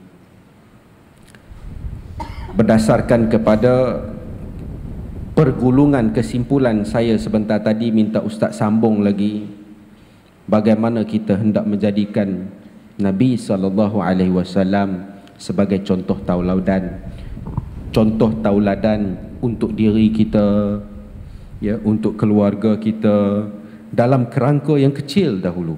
Kemudian baru kita pergi kepada kerangka yang lebih besar. Insyaallah. Kalau di kita pun tak boleh nak ikut Nabi nak contoh Nabi bagaimana sesebuah negara sesebuah organisasi yang lebih besar untuk mencontohi Nabi. Tafadhal ya ustaz 20 minit Bismillahirrahmanirrahim. Tuan-tuan muslimin muslimat. InsyaAllah tak mengantuk ya no? ha, saya dengar selawat tadi slow eh, Ambil brim duduk depan sekali. Ha, Biasalah tuan-tuan. Kita Ada ego masing-masing. Bila berkait dengan benda agama Masing-masing pakat tolak hang aku. Ni kebiasaan kita orang Melayu. Sedangkan Kita tengok satu contoh lah Soft. Soft yang kosong di depan Sepatutnya kita berebut untuk penuhkan. Tapi tu suara Macam kita banyak pahala. Asilah ah, Asyik wah warok. Nampak? Hak kamu kata sila pakat tolak. Aku imam kat takbir lah. Nampak? Tapi kalau jumpa seratus tu Eh, tu seratus ambil eh. Eh, tak ambil, ambil, tak apa, tak apa, tak apa. Terus ada pemohong baik Buat-buat pijak, wah kasut lah Cik, tengok orang tu Eh Mula bokeh, nampak, berebut kita tahun dunia. Tapi untuk akhirat Untuk tunjukkan rasa cinta kita kat Nabi Tahu tak? Malu kita. Segan. Orang sebelah tengok Aku nampak selawat kuat. Kalau karaoke tak apa. Bukan main karaoke. Gegar vaganza malam menanti siang. Siang menanti malam. Tu seiras seirama. Lingkup gitu eh sebab tu kita tunjuklah rasa cinta kita kat Nabi tuan-tuan. Selawat. Dengan mengikut segala sunnah yang ditinggalkan oleh Nabi tuan-tuan. Banyak sangat sunnah tuan-tuan. Ratusan ribu sunnah yang Nabi tinggalkan. Cuba tanya diri kita, apa benda sunnah yang aku ikut? Ada sunnah yang besar, ada sunnah yang pertengahan, ada sunnah yang ringan untuk kita buat, dikategoriskan oleh para ulama untuk memudahkan ikutan kita. Ulama tolong buat kajian di di di di asing-asingkan tuan-tuan. Sebenarnya semua sunnah banyaklah, tapi buat hak ringan lagu ni. Hantar mampu buat pertengahan, hak ringan ada. Contoh apa dia? sampaikan salam. Idza laqitahu fasallim alaih. Sebarkan salam. Bila berjumpa selisih kawan kawan dengan kawan. Kita tahu dia orang Islam tapi kita tak kenal dia. Sebarkan salam. Assalamualaikum. Sunnah yang ringan tuan ni. Bukan gaduh ambil semayang tak gaduh menghadap kiblat. Selisih ya. Naik motor nak kereta. Assalamualaikum tapi jangan duk warak sangat selisih dia assalamualaikum assalamualaikum banyak cantik muka hang ngaji tak mana assalamualaikum Kawan nak dengar tu pun jawab warak juga. Mu'alaikumsalam. Mu'alaikum tu. Orang wa'alaikumsalam dia pergi tambah mim. Nampak? Ha, dua-dua. Dua kali lima. Sebarkan salam sunnah yang ringan. Pakai minyak wangi. Sunnah ringan. Buka tudung botol, calik. Niat nak ikut sunnah kerana Nabi suka berwangi-wangi. Kita nak masuk semayang. Duduk dalam sah. Nak buat jariah. Nak buat infak yang begitu hebat. Buka duduk minyak wangi calik di tangan kita calik di tangan orang sebelah calik di tangan orang sebelah orang sebelah bila orang suar minyak wangi kat kita sunat ambil makruh tolak tuan-tuan Kita duduk nak semayang. Orang kata. Kita pun suar sunat hukum dia. Kita suar kat dia, orang sebelah kita, dia pun ambil. Dia suar, suar, suar, suar, suar, kita semayang tak hujung. Amboi habis dah minyak aku. Padahal lima ringgit ya, punya kedekut tak hidup masjid. Duduk fikir, patihah tak baca. Sampai mana minyak wangi gemuk. Pasal tinggal botol saja. Keluar hang beli lain-lain. Boleh pahala berkanak-kanak tu. Orang yang semayang oleh kerana dia wangi. Tengah semayang tu dengan minyak wangi hang. Kalau 10 orang, 10 pahala hang dapat. Hang punya satu, jadi sebelah. Untungnya MLM, multi level marketing, pahala. Kalau kita pandai buat. Cubalah kita show off sikit. Sayang kita, kasih kita kat Nabi tuan-tuan. Nak berselawat bukan bukan berat pun. Tak berat. Show off sikit kalau kita sayang kat bini kita, sayang. Bini tak sayang sangat dah, waktu cinta dulu sayang. Bila menikah dan dan tak sayang, dulu waktu cinta tu, ho. Lambat reply message kan. Lambat reply message eh, tak senang duduk dah. Hai dia ni buat apa ni? Dua minit ya lambat. Lah tak kena reply tak apa. Menyampah tengok message mak ang. Nak tak tak ni selera nak makan, mak ang hantar message call-call dengar suara dan dan tak lalu. Duduk. Nyo jahat kita ni. Sayang kita kat manusia tuan-tuan tak sabar-sabar kita nak jumpa. Cakap main gi punya power. Gambar kalau orang lelaki-lelaki hak muka kuat muhung belakang ni depan-depan ni. Muslimat mana? Atas eh? Muslimat atas ha, muslimat nak abang nak pesan. Nah, ni hak bawah ni jangan duk percaya ni. Ha ni, nama kata lelaki-lelaki pemuhung paik belaka. Nah, depa suka ayat power, ayat depa mana?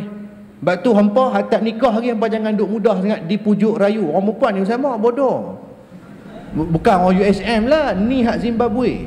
Pantang pujuk, pantang lepak. Berpuluh-puluh kali benda yang sama kena. Mai lelaki pujuk, ayah Awak nampak cantik lah hari ni. Rambut awak ikan mayang Putih gebu, putih melepak hmm. Dia hitam dah Dia masuk bilik tengok Ui putih dah ha, Orang perempuan. Jangan sesekali terpedaya Dengan kata-kata manis orang lelaki-lelaki Selagi mana dia tak jadi suami. Dia akan pujuk macam-macam benda Oleh kerana ada ada tujuan di sebaliknya. Sebab tu orang perempuan Dia kena tinggikan maruah. Nampak? Nampak ke mana ustaz? Saya memang tak tahan puji. Lawan puji itu ada orang hantar surat, ada orang hantar mesej. Saya dah lama perhati awak, secret admirer. Awak pergi kantin saya tengok, awak masuk kelas saya tengok, awak cantik lah hari ni. Tudung merah jambu, baju putih kain merah jambu macam puteri. Nampak? ah, dia dia nak mengorat kita. Muslimat sekalian kena jawab balik. Aku tak kelapak nak hang. Hang tu dah hitam, hidung kembang. Nampak busuk haung gemuk kedem puan hampir belah cari orang perempuan lain. Tobat dia tak mesti dah. Kena kasar sikit orang perempuan ni. Ni dak orang kata eh pakai baju apa ni? Ha, ni pakai je kurung. Ada bunga-bunga reflesia. Tudung tudung kain yang terbaru sekali. Kain glitter kertas pasir. Hak merlik merlak eh, Sebelum ni I pakai tudung layer-layer. Tapi nampak macam pelangi sangat. Orang orang keliru. Jadi I pakai tudung yang yang ada lambang Ultraman ni. Hak seketui bulat ni, tang dadong ni. Belian seketui, lap lap lap. Kalau kelip tu makna dia lapak ke darah hansi tu. Tuan-tuan tak bisa tengok orang pakai tudung tu hak ada datang seketui ni, mutiara. Dulu jenis gantung, sotong, udang, apa belangkah dah ni duk kali. Pelik-pelik orang ni tapi bukan hak USM ni hak UUM. Bukan sini je UUM No. Somalia ada satu. Sebab tu tuan-tuan jangan duduk perasan Jadi tuan-tuan kita tunjuklah rasa kasih dan sayang kita kat Nabi tuan-tuan. Walaupun kita tak pernah berjumpa Mendengar apa yang Nabi sebut. Tapi Nabi tinggal kat kita surat cinta banyak. Nabi tinggal whatsapp, message, inbox, facebook Punya berlambak kita Tu hadis Nabi. Sahih Bukhari, Sahih Muslim. Ada di rumah kita. Sahih Bukhari ada kitab Sahih Bukhari. Kalau betul kita sayangkan Nabi ada tak kitab tu? Kata-kata tinggalan Nabi, hadis-hadis Nabi, ribuan hadis Nabi duduk dalam kitab tu ada dalam rumah kita. Tak ada. Yang ada apa? Mangga. URTV. Ah, majalah-majalah artis. Saya beli buku mangga. Ingatkan Jabatan Pertanian pasal dia tulis mangga. Kita pun nak belajar. Enggak menanam pokok semua kan. Kok pakai baju tu baju ni Beli beli beli selok selok lah Bukan majalah Jabatan Pertanian Jabatan Haiwan Hak pergi tengok ada bewok sekok duduk belangkang tepi tepi swimming pool. Hak duduk dalam swimming pool ada bewok nampak badan sekerat. Macam-macam duduk di tangga. Pandai bewok pegang tangga. Putih melepak juga, mulut merah. Ha, aku kena muhung butu ya, rugi rupa angit dah tu. Sebab tu tuan-tuan muslimat, tunjuklah sikit rasa kasih sayang kita kat Nabi. Sunnah-sunnah Nabi kita cuba amalkan tuan-tuan. Sedaya yang termampu. Tak boleh yang besar, hak kecil ada, hak pertengahan ada. Kita jangan jadikan ianya alasan untuk kita nak tak mau nak ikut. Sedangkan up to date fashion kita boleh ikut. Pakaian yang Nabi sayang mesti kita tak boleh buat. Tak boleh nak ikut. Tapi bila mati esok nak bangkit, bangkit belakang Nabi. Bila tanya, hari esok bangkit di akhirat, yauma yub'atsun, hari kebangkitan esok nak bangkit belakang sama belakang siapa? Hang duk minat artis tu, hang nak bangkit belakang, belakang dia ke? Hai dok, aku nak bangkit belakang Nabi ni, cuy. Belakang Nabi pula bapak apa? Rambut dah. Entah ni, mayang entah baik mana, nak bangkit belakang Nabi. Al-mar'u 'ala dini khalilih kata Nabi. Seseorang tu atas agama kawan dia. Maksud dia bukan kawan dia orang kapiak, dia pun kapiak. Tapi bila banyak dia berkawan dengan orang-orang yang jauh daripada agama, dia turut akan jauh daripada agama. Sebab tu tuan-tuan, jangan malu, jangan segan untuk kita show off rasa kasih sayang kita kat Nabi tuan-tuan. Tak jatuh standard pun, tak jatuh, tak hilang maruah pun tuan-tuan. Bahkan mudah-mudahan ia yang menjadi bukti di hadapan Allah. Hari Allah Ta'ala kunci tuan-tuan ni, kunci mulut kita ni. Al-yawma nakhtimu ala afwahihim wa tukallimuna aydihim wa tashhadu arjuluhum bima kanu yaksibun kata Allah. Baca Yasin tiap-tiap malam Jumaat tapi haram tak faham. Baca saja. Allah sebut tu hari yang mana kami kunci mulut depa mulut kita kena kunci tangan cakap kaki bercakap jadi saksi tangan ni Allah dulu duk tulis apa yang di, yang, yang dipelajari ya Allah kaki ni Allah melangkah pergi masjid surau kerana Nabi sangat suka pada masjid tempat berjemaah aku nak ikut sunnah Nabi aku pergi jalan kaki Kaki tu jawab di hadapan Allah. Tu tuan ni. Mulut kena tutup rapat lah. Mulut kena tutup rapat. Kunci zip terus. Hak duk cakap di dunia ni pandai berpidato, speech dan sebagainya. Kena tutup rapat. Tak boleh cakap dah. Pasal mulut ni ada lidah. Lidah anggota yang tidak ada tulang tetapi berbeza.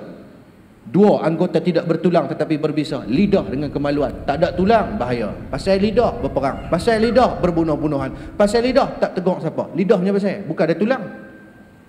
Sebab tu Nabi pesan suruh jaga tuan-tuan muslimin muslimat. Jadi kita gunakan lidah kita ni anggota yang Allah bagi ni untuk memberi manfaat dan hasil bukan takat di dunia bahkan di akhirat. Hasil dunia guna lidah banyak dah tuan-tuan. Kita boleh bercakap dengan cakap tu kita ada pendapatan dan sebagainya. Hak akhirat mana? Hak akhirat ni tuan-tuan ni kita buat kebaikan dengan lidah, baca Quran dengan hadis, selawat atas Nabi tu semua benda tuan-tuan yang memberi hasil pada akhirat. Kita tukar currency, duit, mata wang mata wang kita untuk mata wang akhirat juga tuan-tuan muslimat beri hasil sebab tu kita ambil manfaat tuan-tuan. Jangan malu dan segan tentang agama. Kalau dalam benda keduniaan kita tak malu untuk tampil ke depan nak show off segala capability kita efisien kita melakukan satu-satu benda. Tapi siapa dalam bab akhirat bab bekalan yang kita nak bawa balik. Dalam kubur esok kita pakat malu belakang pakat tarik hang aku. Maka tuan-tuan mudah-mudahan sikit sebanyak memberi manfaat pada kita. Soalan yang ditanyakan sebentar tadi tuan-tuan muslim muslimat bagaimana kita nak mencontohi Nabi sallallahu alaihi wasallam dalam berbagai peringkat. Nabi ini satu contoh ikutan yang paling terbaik Allah Taala buat. Uswatun hasanah. Dan datangnya Nabi untuk kita tuan-tuan muslimin muslimat menyelamatkan kita daripada bakaran api neraka. Lahir lahir Nabi itu satu rahmat. Wa ma arsalnaka illa rahmatan lil alamin kata Allah. Tidak diutuskan Nabi itu melainkan nak bawa rahmat mai kat kita semua ni. Bukan takat manusia tapi keseluruhan makhluk. Lil alamin. Seluruh makhluk. Kita manusia. Ada lagi makhluk yang bernama haiwan. Ada lagi makhluk yang bernama tumbuhan. Jin-jin. Semua dapat rahmat dengan kedatangan Nabi. Yang kata rahmat Nabi untuk tumbuhan. Tuan-tuan tengok tuan-tuan ni. Ketika mana Nabi SAW masih lagi bayi Dibawa pulang oleh Halimatus Sa'diyah. Siapa Halimatus Sa'diyah? Salah seorang ibu susu Nabi. Yang dia ni bukan orang Mekah. Dia duduk di perkampungan Bani Sa'ad. Tu yang dapat nama belakang Sa'diyah tu. Ambil sempena kampung Nama Bani Sa'ad. Duduk luar kota Mekah Perkampungan yang kering kontang Tanam datang apa untuk hidup. Ada telaga Telaga kering. Taraf hidup rendah Pasal tak ada pendapatan Maka setiap tahun yang menjadi rutin orang kampung Bani Sa'ad ni Main musim haji dia akan pergi ke Mekah Cari budak-budak yang baru lahir Anak-anak bangsawan orang kaya Untuk dia bawa pulang ke kampung Ambil upah menyusu. Dua tahun hantar pergi balik. Maka tahun yang sama kelahiran Nabi Berlaku rutin yang sama. Kedatangan kaum-kaum daripada kampung Bani Sa'ad Untuk mencari-cari bayi yang baru dilahirkan Untuk diambil upah menyusu. Halimatus Sa'adiyah Salah seorang dalam rombongan Cik Kira tu Mereka tolak pergi ke Mekah tuan-tuan. Halimatus Sa'adah tertinggal di belakang kerana dia ada binatang tunggang yang yang perlahan, yang tak cukup makan, tak larat jalan. Orang kampung semua tinggal dia 80 tiang. Hak lain pasal pakat naik panah merah, dia seorang 660 kancil. Tu kena tinggal belakang, berpuluh tiang kena tinggal. Jadi dia yang terakhir sampai, hak lain sampai dulu. Pakat pilih anak orang kaya, anak menteri, esko, tan sri. Pasal dia tahu upah besar tinggallah Nabi sallallahu alaihi wasallam Muhammad bin Abdullah yang waktu tu masih lagi bayi tuan-tuan. Tak ada siapa nak. Pasal orang tahu dia ni ayah tak ada. Mak pula hidup susah. Ni kalau kau ambil upah menyusu tobat tak dapat apa ni. Orang tak pilih Nabi. Halimatus Sa'diyah sampai kali yang terakhir dia tak ada option tak ada pilihan. Hanya yang ada Nabi SAW waktu budak-budak waktu kecil waktu bayi dia ambil ambil Allah Allah campak perasaan kasih. Dia dukung tu ya Allah comelnya baby ni. Tak bagi upah pun tak puas saya ambil menyusu. Tuan-tuan nampak kelebihan Nabi? Bawa Nabi pulang ke kampung Bani Sa'ad tuan-tuan. Keldai baral yang tak saat ni mai on the way tuan-tuan ni paling lambat. Keberkatan Nabi SAW dia bawa balik. Nabi bayi lagi. Bawa balik Nabi pi kampung Bani Sa'ad. Tak saat ni mai dia kena tinggal. Balik dia potong habis GTR terus jadi Skyline. Nampak babat eh weh lambat nah hak lain naik Honda Petok dia naik RZ kena tinggal tuan ni berkat hebatnya Nabi tuan. Sampai di kampung Bani Sa'ad. Kampung yang kering kontang tak ada hidupan yang hidup tuan-tuan ni. Kalau belah lembu lembu mampu gitu ya. Tanam kangkung kangkung tak jadi tapi oleh kerana Nabi dibawa balik ke kampung tersebut Kampung tu jadi subur Kampung Bani Sa'ad tu subur Berijau dengan tanaman. Bukan takat waktu tu Sampai hari ni kalau tuan-tuan pergi umrah Tuan-tuan lalu ke perkampungan Bani Sa'ad Tuan-tuan boleh tengok daun-daun yang menghijau Tumbuh-tumbuhan subur di situ Sampai hari ni. Sebelum tu tanam apa tak hidup. Belum datang ternak Pakat membiak belakang. Selepas datangnya Nabi Waktu tu bayi lagi. Nampak rahmat untuk tumbuh-tumbuhan Rahmat untuk binatang tuan-tuan ni. Banyaklah kisah Nabi dengan haiwan ni. Dengan unta yang mengadu kat Nabi. Nabi keluar satu hari. Mai satu unta tuan-tuan ni. Jenguai kepala kok pagak. Ngamuk-ngamuk. Nabi Nabi tanya ni siapa ni? Urut kepala unta tu. Unta tu mengadu kat Nabi. Nabi tanya ni. Siapa punya siapa punya unta ni? Tuan dia mana tuan dia? Mai tuan dia. Ya Rasulullah saya tuan dia. Orang Ansar di Madinah. Nabi kata hang ni satu mangkuk hayun. Ha, tapi tak, tak, Nabi tak kata lah lagu tu. Saya nak habak lah. Nabi marah. Nabi kata hang ni hang ni Allah Ta'ala bagi kat hang satu satu harta iaitu unta binatang ternak. Hang bela di bawah tanggungan hang tapi hang ni tak tak amanah. Hang tak tunaikan hak dia. Hang tak bagi dia makan yang cukup. Lepas tu hang duk dera hang duk suruh dia buat kerja berat. Mana dia larat? Hang nak jawab apa apa Allah Ta'ala Tuan-tuan, tuan unta tu jawab ya Rasulullah wallahi. Demi Allah, start daripada hari ini, mula pada hari ini ya Rasulullah, aku akan lepaskan unta aku ni daripada segala kerja berat dan aku akan cukupkan makanan dia. Tuan-tuan nampak rahmat untuk unta? Buat cakap tuan ni, banyak cerita tuan nak cerita rahmat untuk seluruh makhluk. Bukan takat untuk untuk makhluk yang hidup, bahkan yang mati pun Nabi SAW menjadi rahmat. Tuan tengok batang tamar, batang kurma yang menangis ketika mana Nabi tinggalkan dia untuk duduk di mimbar yang baru. Satu batang tempat Nabi bersandar ketika mana menyampaikan khutbah. Bila Islam semakin mendapat perhatian, orang semakin ramai mendatangi Nabi sallallahu alaihi wasallam. Mimbar yang lama rendah, para sahabat berpendapat untuk membina mimbar yang baru, tiga anak tangga, lebih tinggi sedikit untuk orang-orang hak belakang, hak geng-geng mai lewat nampak Nabi. Buat mimbar baru, mimbar lama letak di sebelah. Bukan jauh, bukan tak dalam store, letak sebelah. Lebih kurang 8 tapak kata ulama daripada hak baru. Lebih kurang 2 meter jauh. Sini mimbar baru, ha tepi tu mimbar lama. Satu hari dengar orang teriak. Menangis-nangis umpama unta yang sedang menangis. Kuat. Begaung masjid tengah tangisan ni para sahabat mencari-cari siapa yang nak teriak ni terisak-isak ni dikenal pasti suara tangisan itu keluar daripada batang tamar yang pernah menjadi tempat sandaran Nabi. Nabi pi pujuk tuan-tuan, batang kurma tu Nabi pi pujuk, Nabi peluk, Nabi sapu, Nabi usap. Keluar suara ni, lagu mana ya Rasulullah? Aku tak teriak ya Rasulullah.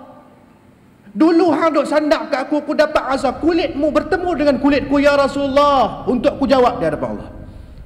Lah ni tak ada dari Rasulullah. Aku rindu sentuhanmu ya Rasulullah. Natang tuan-tuan ni batang tamar yang hmm, tak tahu nak bang. Yang mati dah. Tuan-tuan, rindu akan sentuhan Nabi. Tuan-tuan, giliak-giliak lepas tu Nabi bunuh. Nabi tanya dia, "Hang nak duduk dengan aku di syurga ke hang nak duduk dekat di dunia ya?" Tuan-tuan, Nabi peluk batang tamar tu nak habak kata untuk benda yang dah mati pun Nabi memberi syafaat. Nabi menjadi rahmat. Nabi kata kat sahabat ni kalau aku tak main pujuk batang kurma ni sampai kiamat dia teriak. Allah Rabbi tuan-tuan. Kita malu nak tunjuk rasa cinta kita kat Nabi. Tu rahmat untuk sekalian alam. Jin Allah banyaklah tuan-tuan.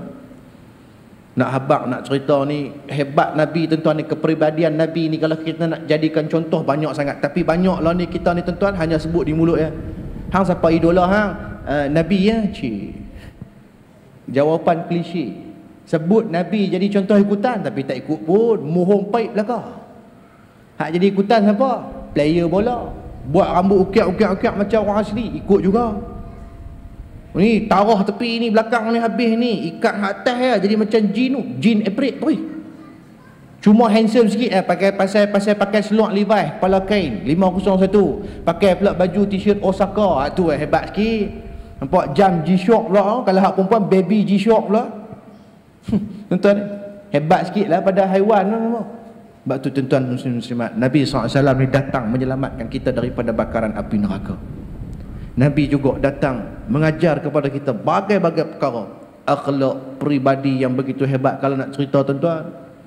Pengorbanan Nabi tuan-tuan muslimin muslimat sekalian. Bagaimana Nabi sacrifice Untuk menyebarkan Islam Waktu awal-awal Nabi bawa Islam di Mekah tuan-tuan Ramai dah orang tak puas hati.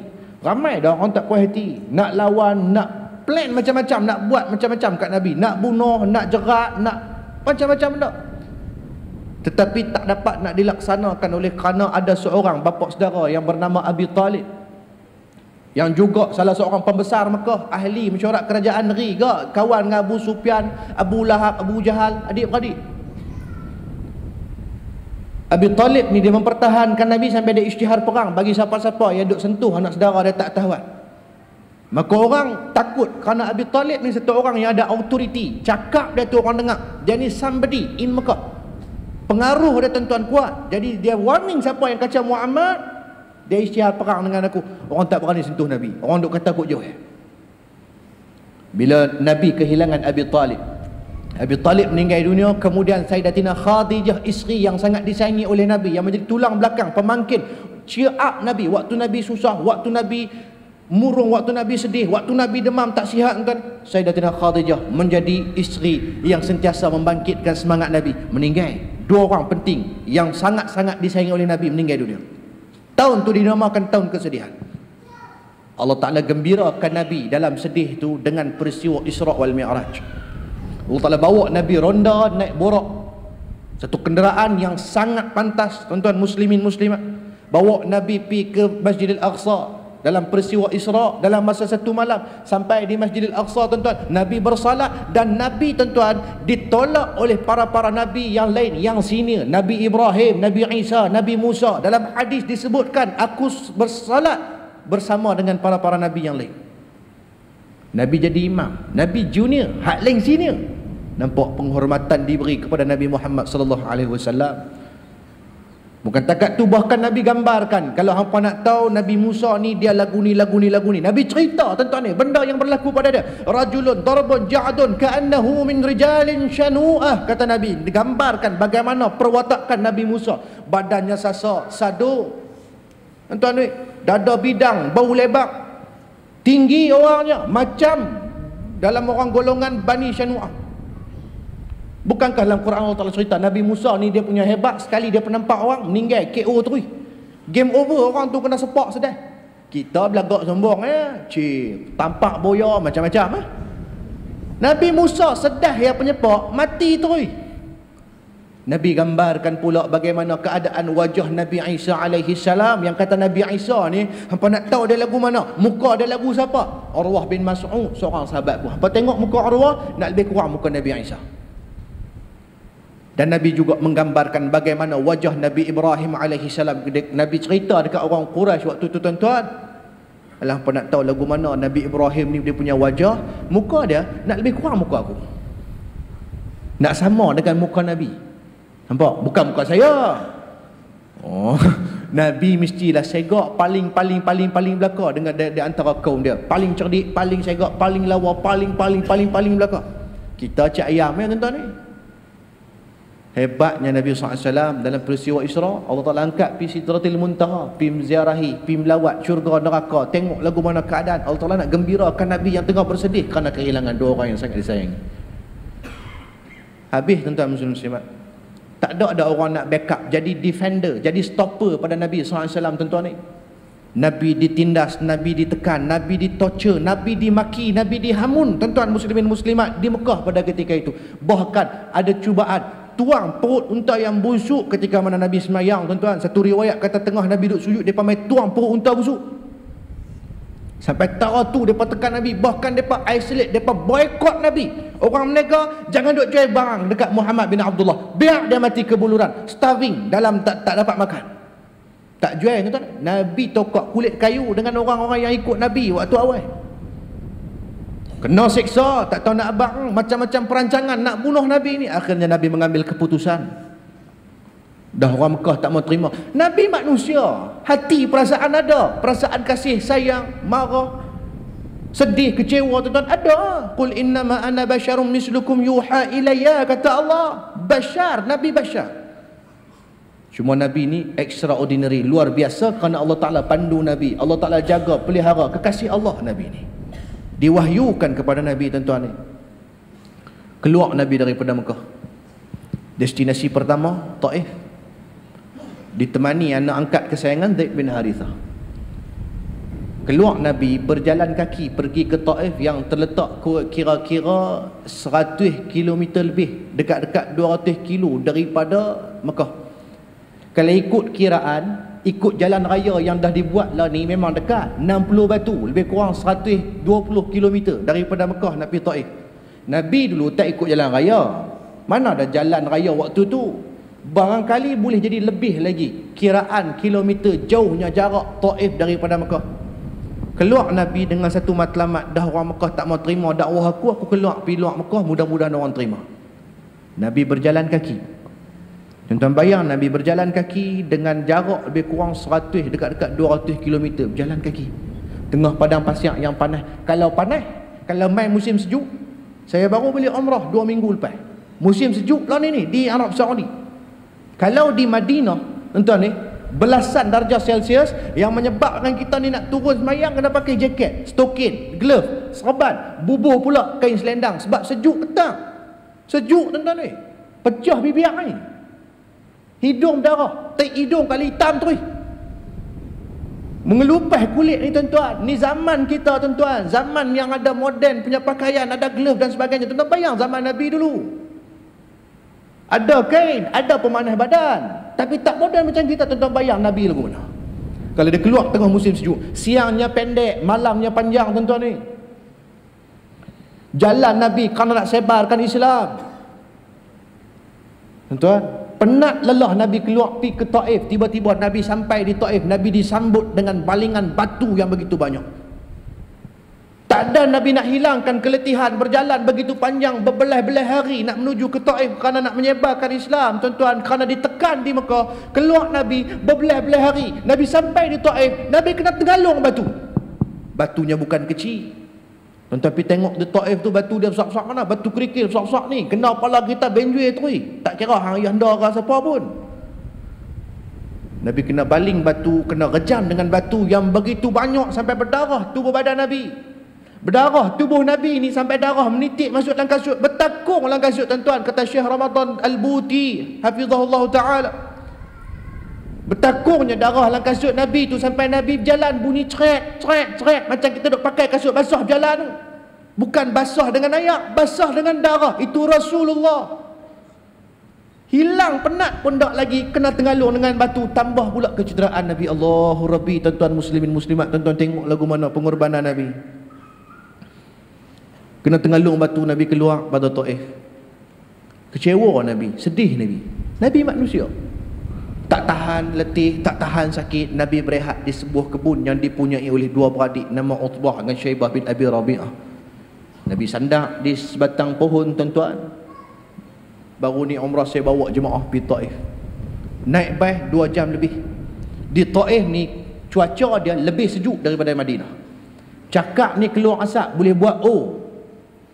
Tuan-tuan Taif.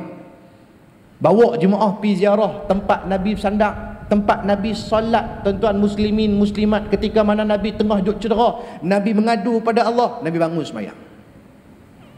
Bawa jemaah pergi ziarah tu tang mana kawasan kebun yang dikatakan Nabi berehat ni.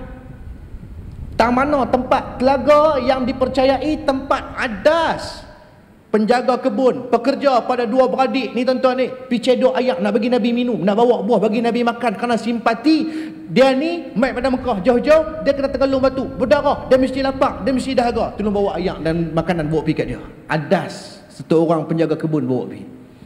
Nabi berdoa mengadu kepada Allah tuan-tuan minta kekuatan. Mai Jibril Ya Rasulullah Hendak suruh aku buat apa kat dia punya kuajak puak-puak ni depa tengalung batu kat hang. Tuan-tuan ni tapi tak cakap kedah lah. Ha, nampak? Panjang lah kalau nak hurai dengan hadis dan sebagainya. Nabi kita jangan ha? Ah, dua minit lagi. Nabi pun kata jangan buat apa kat mereka mungkin mereka tak tahu. Mereka tolak aku. Barangkali zuriat yang keluar daripada sulbi mereka menerima dakwah yang aku bawa. Punya bagus Nabi ini walaupun dibaling dengan batu Nabi sabar dan Nabi tak berdendam. Allahu Rabbi tuan-tuan. Kita nak cari mana kita hak lagu tu? Ha? budak main bola sepak bola kena tingkap naku rumah kita pecah sekepin kita buat apa? Kita buat batu pi rumah pak dia buak tengalung kena sliding door bagi pecah tu yang jahat kita ni boleh dendam nampak? Nabi tak boleh dendam. Nabi berpandangan jauh. Mereka buat kat aku lagu tu Anak cucu mereka belum tentu buat aku lagu tu pulang Nabi ke Mekah dalam keadaan sakit, letih tuan-tuan muslimat. Tuan-tuan bayang Nabi kita apa sumbangan kita untuk Islam? Tuan tengok sahabat yang dididik oleh Nabi dua minit yang terakhir ni tuan-tuan ni. Tak cukup masa banyak nak cerita. Sahabat yang dididik oleh Nabi satu orang sahabat nama dia Mus'ab bin Umair. Lagu mana tuan-tuan dia ni memilih Islam dan meninggalkan kemewahan, kekayaan yang dia kecapi waktu duduk di Mekah. Dia ni satu orang anak bangsawan, satu anak orang kaya. Satu anak orang VVIP nak datang apa? Just worried. Nanti sampai. Kalau lah ni tuan-tuan nak datuk oh, naik Ferrari, naik Lambo Aventador. Pakaian mahal. Tuan-tuan muslimin muslimat, Gucci bukan hak uptown. No, hak Paris punya. Dolce and Gabbana. Tu dia nak sebut pun payah pakaiannya mahal. Mus'ab bin Umair tuan-tuan minyak wanginya paling harum dan dia ni seorang yang segak kacak handsome. Menjadi kegilaan wanita-wanita Mekah. Disebut dalam riwayat Mus'ab bin Umair ni apabila dia turun berjalan di kota Mekah. Jalan kot pekan Mekah tu tuan-tuan. Orang perempuan yang duk beli di pasar apa ni tuan-tuan. Nampak dia batuk ke tepi ni buka jalan. Tergila-gila kan Mus'ab memanggil-manggil menjerit-jerit nama Mus'ab. Abang Ab abang Ab marry me marry me lebih kurang lagu tu orang perempuan gatal. Macam kita duduk terpekik terlolong jumpa artis ya. Uh, padahal orang artis tu kan kenal kita pun. Kita duduk pasal lebih nampak. Musa bin Umar. Diselimuti kemewahan tuan-tuan ni. Tapi bila Allah Ta'ala campurkan hidayah. Dia menyatakan hasrat dia kepada mak dan ayah dia nak masuk Islam, nak ikut Nabi SAW. Mak dia dengan keras menentang Mus'ab, ha ingat. Hang kalau hang ikut Muhammad, hang jangan harap wala sekupang pun daripada harta mak dengan abah, mama dengan papa. You don't even get even a penny. Oh, penny yang tu ni. Sekupang pun hang tak dapat daripada harta kami. Hang jangan doa harap. Dan kalau hang ikut Muhammad, hang boleh belah daripada rumah ni. Mus'ab diugut sedemikian rupa tetap tetap dia masuk Islam. Dia tak peduli akan ugutan tersebut tuan-tuan. Kena halau sungguh. Hidup dalam keadaan susah. Mak dia tengok, wih, buat betul eh. Mak dia mogok lapar, tak makan berbelah-belah hari sampai kurih cengkung kerana nak tunjuk perasaan. Mudah-mudahan anak dia simpati masuk balik agama saya. Musa kata, wahai ibu, jika sekiranya kamu diberi seratus nyawa sekalipun, satu persatu nyawa tu Allah Ta'ala ambil, aku takkan kembali pada agama saya. Allahu Rabbi tuan Hidup Mus'ab dalam keadaan susah sampailah dia berhijrah pergi ke Madinah. Mus'ab ni syahid dalam perang Uhud tahun ketiga hijrah. Setahun selepas berlaku perang Badar. Repeat perang oleh kerana buat musyrikin Mekah kalah dalam perang Badar yang jumlah mereka banyak jumlah tentera Islam sikit. Disebut sebagai the unstable the unbalanced war. Peperangan yang memang tak seimbang kerana 13 313 orang dalam satu riwayat lawan tentera musyrikin Mekah 1200 orang. Kuda hanya ada 2 ekor tentera Islam. Tentera musyrikin Mekah 200 ekor kuda unta tentera Islam 70 ekor kongsi 300 unta tentera musyrikin Mekah 1000 ekor dalam perang Badar. Tapi Allah Ta'ala bagi kemenangan kepada tentera Islam malu muka orang-orang Mekah tuan-tuan muslimin muslimat. Balik ke Mekah dalam keadaan malu tak puas hati repeat perang atuk pula perang perang Uhud. Dalam perang Uhud ni tuan-tuan Mus'ab bin Umair satu orang yang banyak jasa dia untuk Islam syahid. Kerana mempertahankan Nabi. Ketika mana berlakunya huru hara tuan-tuan sahabat-sahabat ada di kalangan tentera-tentera Islam ni kucar kacir lari lintang pukang kerana nak selamatkan diri. Huru hara berlaku. Diserang dari segenap sudut atas dan bawah.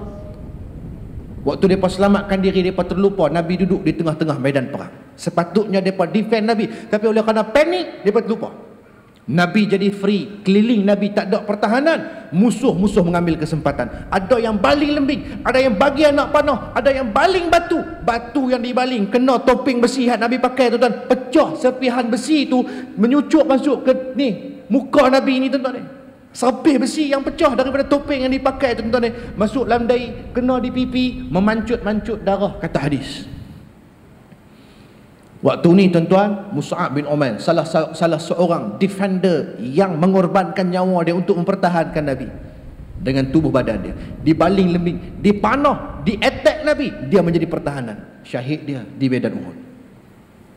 Kayanya dia tuan-tuan muslimin muslimat sampai Nabi menangis tengok dia di Masjid Nabawi. Dia masuk nak semayang, Nabi teriak menitik yang mata. Sahabat tanya ya Rasulullah, kenapa kamu menangis ya Rasulullah? Nabi jawab, lagu mana aku tak menangis? Hang kenal tak dia ni siapa? Ni Mus'ab bin Umair. Hang tahu tak dia ni siapa? Ni anak orang kaya Mekah, hang tahu tak? Dulu pakaian dia mahal sekali di Mekah. Hang tengoklah dia pakai apa? Bajunya, jubahnya berlubang-lubang, bertampung-tampung dengan kulit binatang. Hang tengok dia ni kuih kering lah ni. Hang tahu dulu di Mekah waktu dia orang kaya, dia makan tak ada nabi lagi dalam pinggan, dayang dia, pembantu dia main tukar makanan lain dah.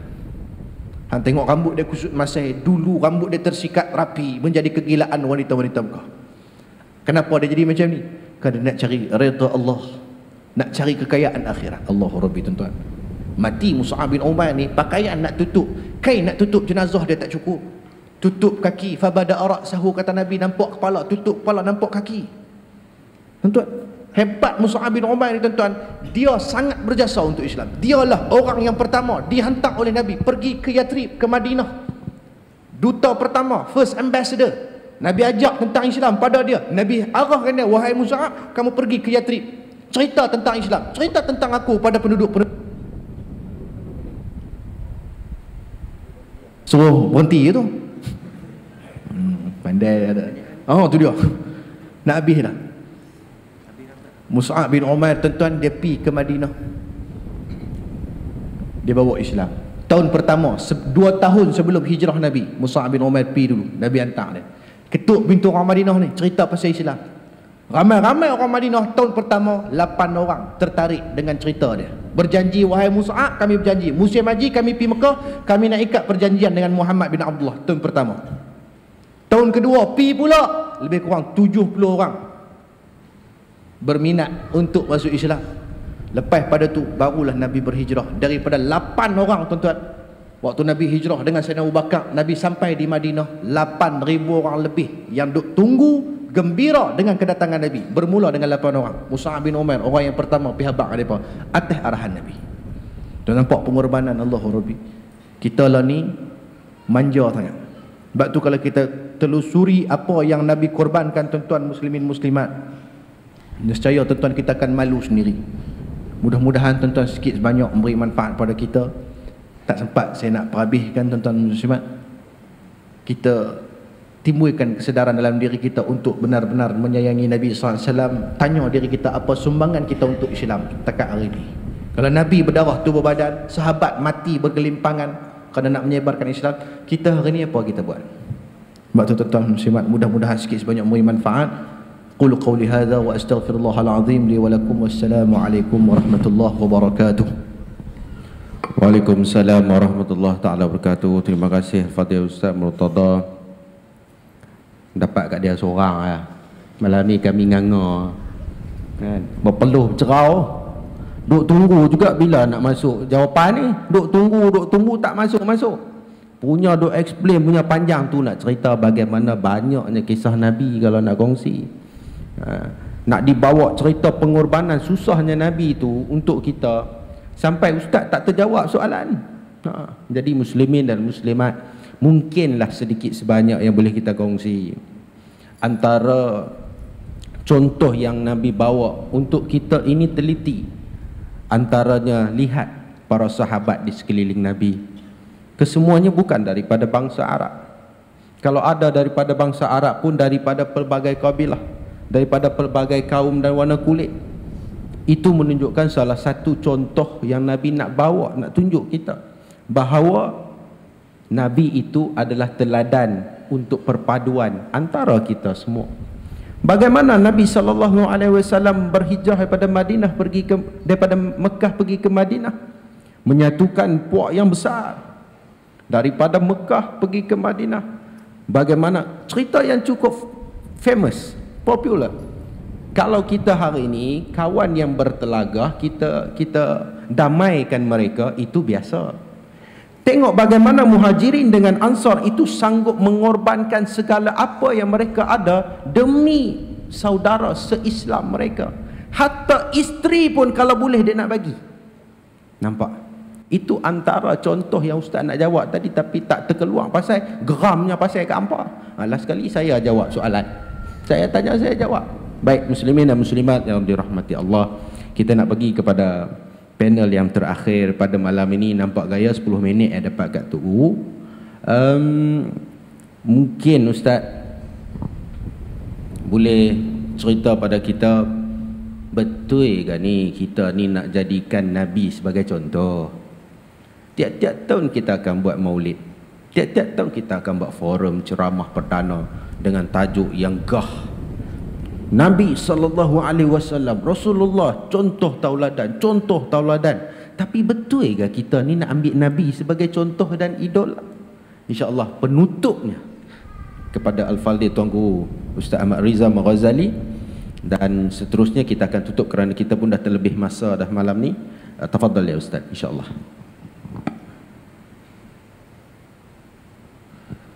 Allahumma salli ala sayyidina Muhammad Apakah perasaan kita apabila kita dengar akan cerita Nabi Muhammad sallallahu alaihi wasallam? Apakah rasa dalam hati hati saya dan hati tuan-tuan semua? Bila setiap lafaz yang keluar berceritakan tentang Rasulullah sallallahu alaihi wasallam. Jika perasaan kita, hati kita merasakan sesuatu yang tidak baik. Merasakan kebosanan, maka kita lebih teruk daripada mimbar Rasulullah sallallahu alaihi wasallam yang menangis itu. Mimbar yang tidak ada akal. Mimbar yang dibuat daripada pohon tamar. Yang menangis teresa-esa kerana rindukan Rasulullah sallallahu alaihi wasallam. Jika mana perasaan kita tuan-tuan selama hampir dua jam ini Tuan-tuan tidak ada rasa kegembiraan dan keseronokan apabila dikhabarkan tentang kisah-kisah Rasulullah sallallahu alaihi wasallam, kehebatan Rasulullah, pribadi Rasulullah. Bermakna kita ini lebih teruk daripada sebatang pokok yang tidak ada akar. Bagaimana yang Al-Fadil cerita tentang Mus'ab bin Umar? Daripada seorang yang kaya Masya Allah Hidupnya dengan kekayaan dan kemewahan. Tetapi akhirnya Bertemu dengan Allah subhanahu wa ta'ala Kain kafan yang tidak boleh menutup akan tubuhnya kain kafan yang tidak boleh tak cukup untuk menutup akan tubuh Musa'ab bin Umar. Maka perlu kita tanya dalam diri kita apakah pengorbanan kita dan apakah kecintaan kita? Siapakah kita sebenarnya? Dan apakah kedudukan kita sebenarnya sebagai umat Nabi Muhammad sallallahu alaihi wasallam? Apakah kita semua menipu dalam segala pekerjaan kita Kita kata kita kasih kerana Rasulullah kita kata kita rindu kerana Rasulullah sallallahu alaihi wasallam Setiap kali kita pergi umrah, setiap kali kita pergi haji, kita akan ziarah makam Rasulullah sallallahu alaihi wasallam. Apakah ini satu penipuan? Tetapi pada zahirnya kita tidak ada rasa kecintaan pada Rasulullah sallallahu alaihi wasallam hatta kita bosan mendengar akan kisah Rasulullah, kita bosan mendengar akan kisah ashab Rasulullah sallallahu alaihi wasallam. Siapakah kita sebenarnya? Apakah kita ini orang yang benar-benar beriman dengan Nabi Muhammad ataupun kita seperti mana Yahudi yang cuba menyerang Rasulullah sallallahu alaihi wasallam? Apakah kita ini orang yang sama-sama seperti mana Abdullah bin Ubay yang zahirnya menunjukkan kasih kepada Rasulullah sallallahu alaihi wasallam tetapi hatinya membenci akan Nabi Muhammad sallallahu alaihi wasallam membenci akan sekalian orang Islam membenci akan sunnah Rasulullah sallallahu alaihi wasallam. Tuan-tuan yang saya kasih sekalian saya dan juga tuan-tuan semua yang hadir pada malam ini balik kita fikir. Balik kita fikir siapakah aku pada sisi Rasulullah sallallahu alaihi wasallam Siapakah aku pada sisi Nabi Muhammad sallallahu alaihi wasallam? Siapakah aku pada penilaian Nabi Muhammad sallallahu alaihi wasallam? Bukan siapa aku pada sisi manusia. Bukan siapa aku pada pandangan manusia, tetapi siapa aku pada pandangan Allah dan siapa aku pada pandangan Rasulullah sallallahu alaihi wasallam. Tuan-tuan yang dirahmati oleh Allah Subhanahu wa taala. Saya akan berhenti sekejap lagi insya-Allah tuan-tuan. Maka sebelum saya berhenti maka saya ajak tuan-tuan sunnah Rasulullah sallallahu alaihi wasallam ini terlalu banyak. Dan Rasulullah sebut dalam hadis Rasulullah bersabda semua umat aku akan masuk syurga Allah Subhanahu wa taala illa aba melainkan orang yang tidak mau masuk syurga Allah. Balik daripada majlis forum pada malam ini saya dan tuan-tuan. Kalau dulu kita ambil barang dengan tangan kiri, kita ambil makanan dengan tangan kiri, kita makan dengan tangan kiri, kita minum dengan tangan kiri. Kita keluar, kita buat sesuatu perkara kebanyakan dengan tangan kiri, masya-Allah malam ini kita pindah. Daripada minum tangan kanan insya-Allah, makan dengan tangan kanan insya-Allah. Mudah-mudahan sama-sama saya dan tuan-tuan juga mudah-mudahan kita dapat sama-sama beramal dengan sunnah Rasulullah sallallahu alaihi wasallam. Tanda kecintaan kita pada Rasulullah sallallahu alaihi wasallam walaupun kita tidak boleh buat keseluruhannya. Tetapi jika sebahagian daripada apa yang Rasulullah sebut itu kita dapat beramal. Insya-Allah. Tuan-tuan, masya-Allah Selepas wafat Rasulullah sallallahu alaihi wasallam Bilal bin Rabah dia tidak duduk di Madinatul Munawwarah. Bilal bin Rabah duduk jauh daripada Madinah. Satu malam Bilal bin Rabah ini telah didatangi oleh Rasulullah sallallahu alaihi wasallam. Dan Rasulullah berkata kepada Bilal bin Rabah, "Wala Bilal bin Rabah, apakah kau telah lupa kepada aku?" Dan tatkala itu bila bin Rabah bangun tuan-tuan Bila bin Rabah menangis teresak-esak Seperti mana seorang bayi Yang kehilangan yang rindu dengan ibunya Lalu bila bin Rabah Menaiki kenderaan dengan lajunya Terus ia berada di hadapan makam Nabi Muhammad sallallahu alaihi wasallam. Bila bin Rabah tuan-tuan menangis teresak-esak Meraung teresak-esak memanggil nama insan ini ya Rasulullah. Bilal bin Rabah tuan-tuan meraung-raung memanggil-manggil akan Nabi Nabi Muhammad sallallahu alaihi wasallam. Setelah Rasulullah sallallahu alaihi wasallam datang dalam mimpi Bilal bin Rabah bertanya kepada Bilal bin Rabah apakah engkau telah lupa aku wahai Bilal bin Rabah Bilal bin Rabah ini tuan-tuan berada di hadapan makam Rasulullah menangis teresak-esak berkata kepada hadapan Nabi Muhammad sallallahu alaihi wasallam di depan makam Nabi Muhammad sallallahu alaihi wasallam Ya Rasulullah Ya Rasulullah Ya Rasulullah Aku bukan lupa kepada engkau wahai Muhammad Aku bukan tidak ingat engkau wahai Muhammad. Aku bukan telah Hati aku bukan telah lalai daripada mengingati engkau wahai Rasulullah sallallahu alaihi wasallam. Tetapi kata Bilal bin Rabah Aku tidak sanggup untuk menjajakkan kaki aku ni di bumi Madinah Kerana aku merasakan bahawa engkau masih hidup ya Rasulullah. Engkau masih hidup ya Muhammad Aku masih merasakan akan engkau ya Muhammad sallallahu alaihi wasallam. Aku tidak sanggup untuk menjijakkan kaki aku di bumi Madinatul Munawwarah ini. Kerana aku terlalu malu kepada engkau ya Muhammad. Aku masih merasakan bahawa engkau ini hidup dan tidak lagi wafat. Ini apa yang dirasakan oleh Bilal bin Rabah. Bilal bin Rabah dia tidak sanggup untuk jejakkan kakinya di bumi Madinah Munawwarah kerana dia masih merasakan bahawa Rasulullah sallallahu alaihi wasallam masih hidup. Dan sewaktu Umar bin Al-Khattab meminta Bilal bin Rabah untuk melaungkan azan maka Bilal bin Rabah tidak sanggup untuk melaungkan azan.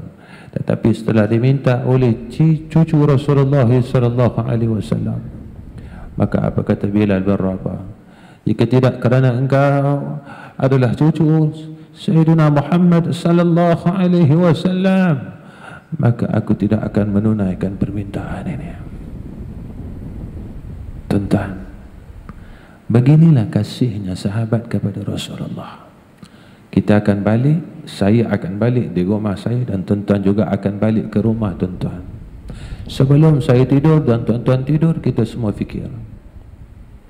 Apakah aku ini orang yang kasih kepada Nabi Muhammad sallallahu alaihi wasallam? Tuan-tuan, Bilal bin berdiri di di menara Masjid Nabi Muhammad sallallahu alaihi wasallam, Masjidun Nabi.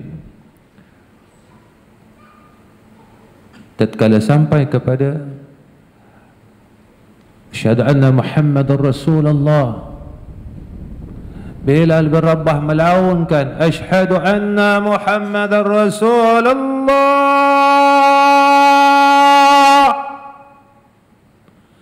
Bilal bin Rabah tuan-tuan Jatuh dan menangis. Maka ketika itu seluruh orang Madinah mendengarkan akan laungan suara daripada Bilal bin Rabah. Seluruh penduduk Madinatul Munawwarah mengatakan bahawa Rasulullah sallallahu alaihi wasallam masih hidup lagi. Mereka merasakan dengan laungan azan daripada Bilal bin Rabah mereka merasakan bahawa Rasulullah sallallahu alaihi wasallam masih hidup. Lalu menangis seluruh penduduk Madinatul Munawwarah. Baru dengan laungan azan daripada Bilal bin Rabah berteriak semua laungan tangisan penduduk Madinatul Munawwarah kerana rindunya kepada Nabi Muhammad sallallahu alaihi wasallam. Tuan, dalam satu tahun ini berapa kalikah kita menangis kerana mengingati Rasulullah sallallahu alaihi wasallam? Dalam satu tahun ini Berapa kalikah kita menangis kerana kita merindui Nabi kita Muhammad sallallahu alaihi wasallam. Dalam satu tahun ini, bagaimanakah rasa keluh kesah kita apabila kita mengingati akan junjungan Nabi kita Muhammad sallallahu alaihi wasallam. Tuan-tuan, saya mengajak diri saya dan tuan-tuan semua mudah-mudahan sesuai daripada forum ini Allah berikan Allah tambahkan kasih kita kepada Rasulullah sallallahu alaihi wasallam dan Allah taala tidak akan cabut akan kasih kita yang tinggal sedikit ini pada Nabi Muhammad sallallahu alaihi wasallam diambil terus daripada hati-hati kita dan ditukar kepada membenci Nabi Muhammad sallallahu alaihi wasallam. Mudah-mudahan Allah kekalkan akan rasa mahabbah ini. Kasih kita kepada Nabi Muhammad sallallahu alaihi wasallam sampai kita bertemu dengan hadrah Allah Subhanahu wa taala. Mudah-mudahan kasih kita kepada junjungan Nabi Muhammad sallallahu alaihi wasallam ini tidak dicabut oleh Allah Subhanahu wa taala dan kita berharap Allah tambahkan kasih ini. Mudah-mudahan majlis ini dalam keredaan Allah Subhanahu wa taala. Mudah-mudahan kita semua dalam rahmat Allah Subhanahu wa taala. Wa akhir kalam assalamualaikum warahmatullahi wabarakatuh. Alhamdulillah terima kasih kepada Al-Fadhil Tuan Guru Ustaz Ahmad Rizam Ghazali kesimpulan yang kita boleh ambil pada malam ini sebagai penutup. Tanda kita ini sayangkan Nabi janganlah kita menjadi orang yang paling bakhil dan kedekut. Apabila mendengar disebutkan namanya maka jawablah andai kata kita ini dengar nama Muhammad sallallahu alaihi wasallam kita dengar saja tanpa menjawab sebutan yang sepatutnya itu tanda-tanda awal bahawa kita ini amatlah kedekut dan bakhil dan tidak pula mahu memuliakan Nabi sallallahu alaihi wasallam. Insya-Allah cukup sekadar itu pada malam ini pertemuan kita pada kali ini insya-Allah moga-moga ada kesempatan yang lain untuk kita bertemu lagi dalam program yang akan datang. Terima kasih kita ucapkan kepada seluruh uh, sahabat media yang hadir pada malam ini daripada Khalifa Channel, daripada Ar-Rahman TV, daripada Abu Khadijah Studio dan juga sahabat-sahabat daripada media ummah yang turut berada pada malam ini dan juga terima kasih kepada seluruh jawatan kuasa Pusat Islam Masjid Malik Khalid uh, University Sains Malaysia di atas penganjuran dan jemputan. Dan saya mewakili ahli panel memohon ampun dan maaf sekiranya ada kesalahan dan kesilapan kami semasa mengendalikan majlis pada malam ini. Dan sekiranya ada kebaikan dan ada manfaat daripada penyampaian marilah sama-sama kita mula beramal daripada ilmu yang kita dapat pada malam ini insyaallah. Aqulu qawli hadza wa astaghfirullahal azim li wa lakum. Wassalamu alaikum warahmatullahi wabarakatuh. Wa aqimus salah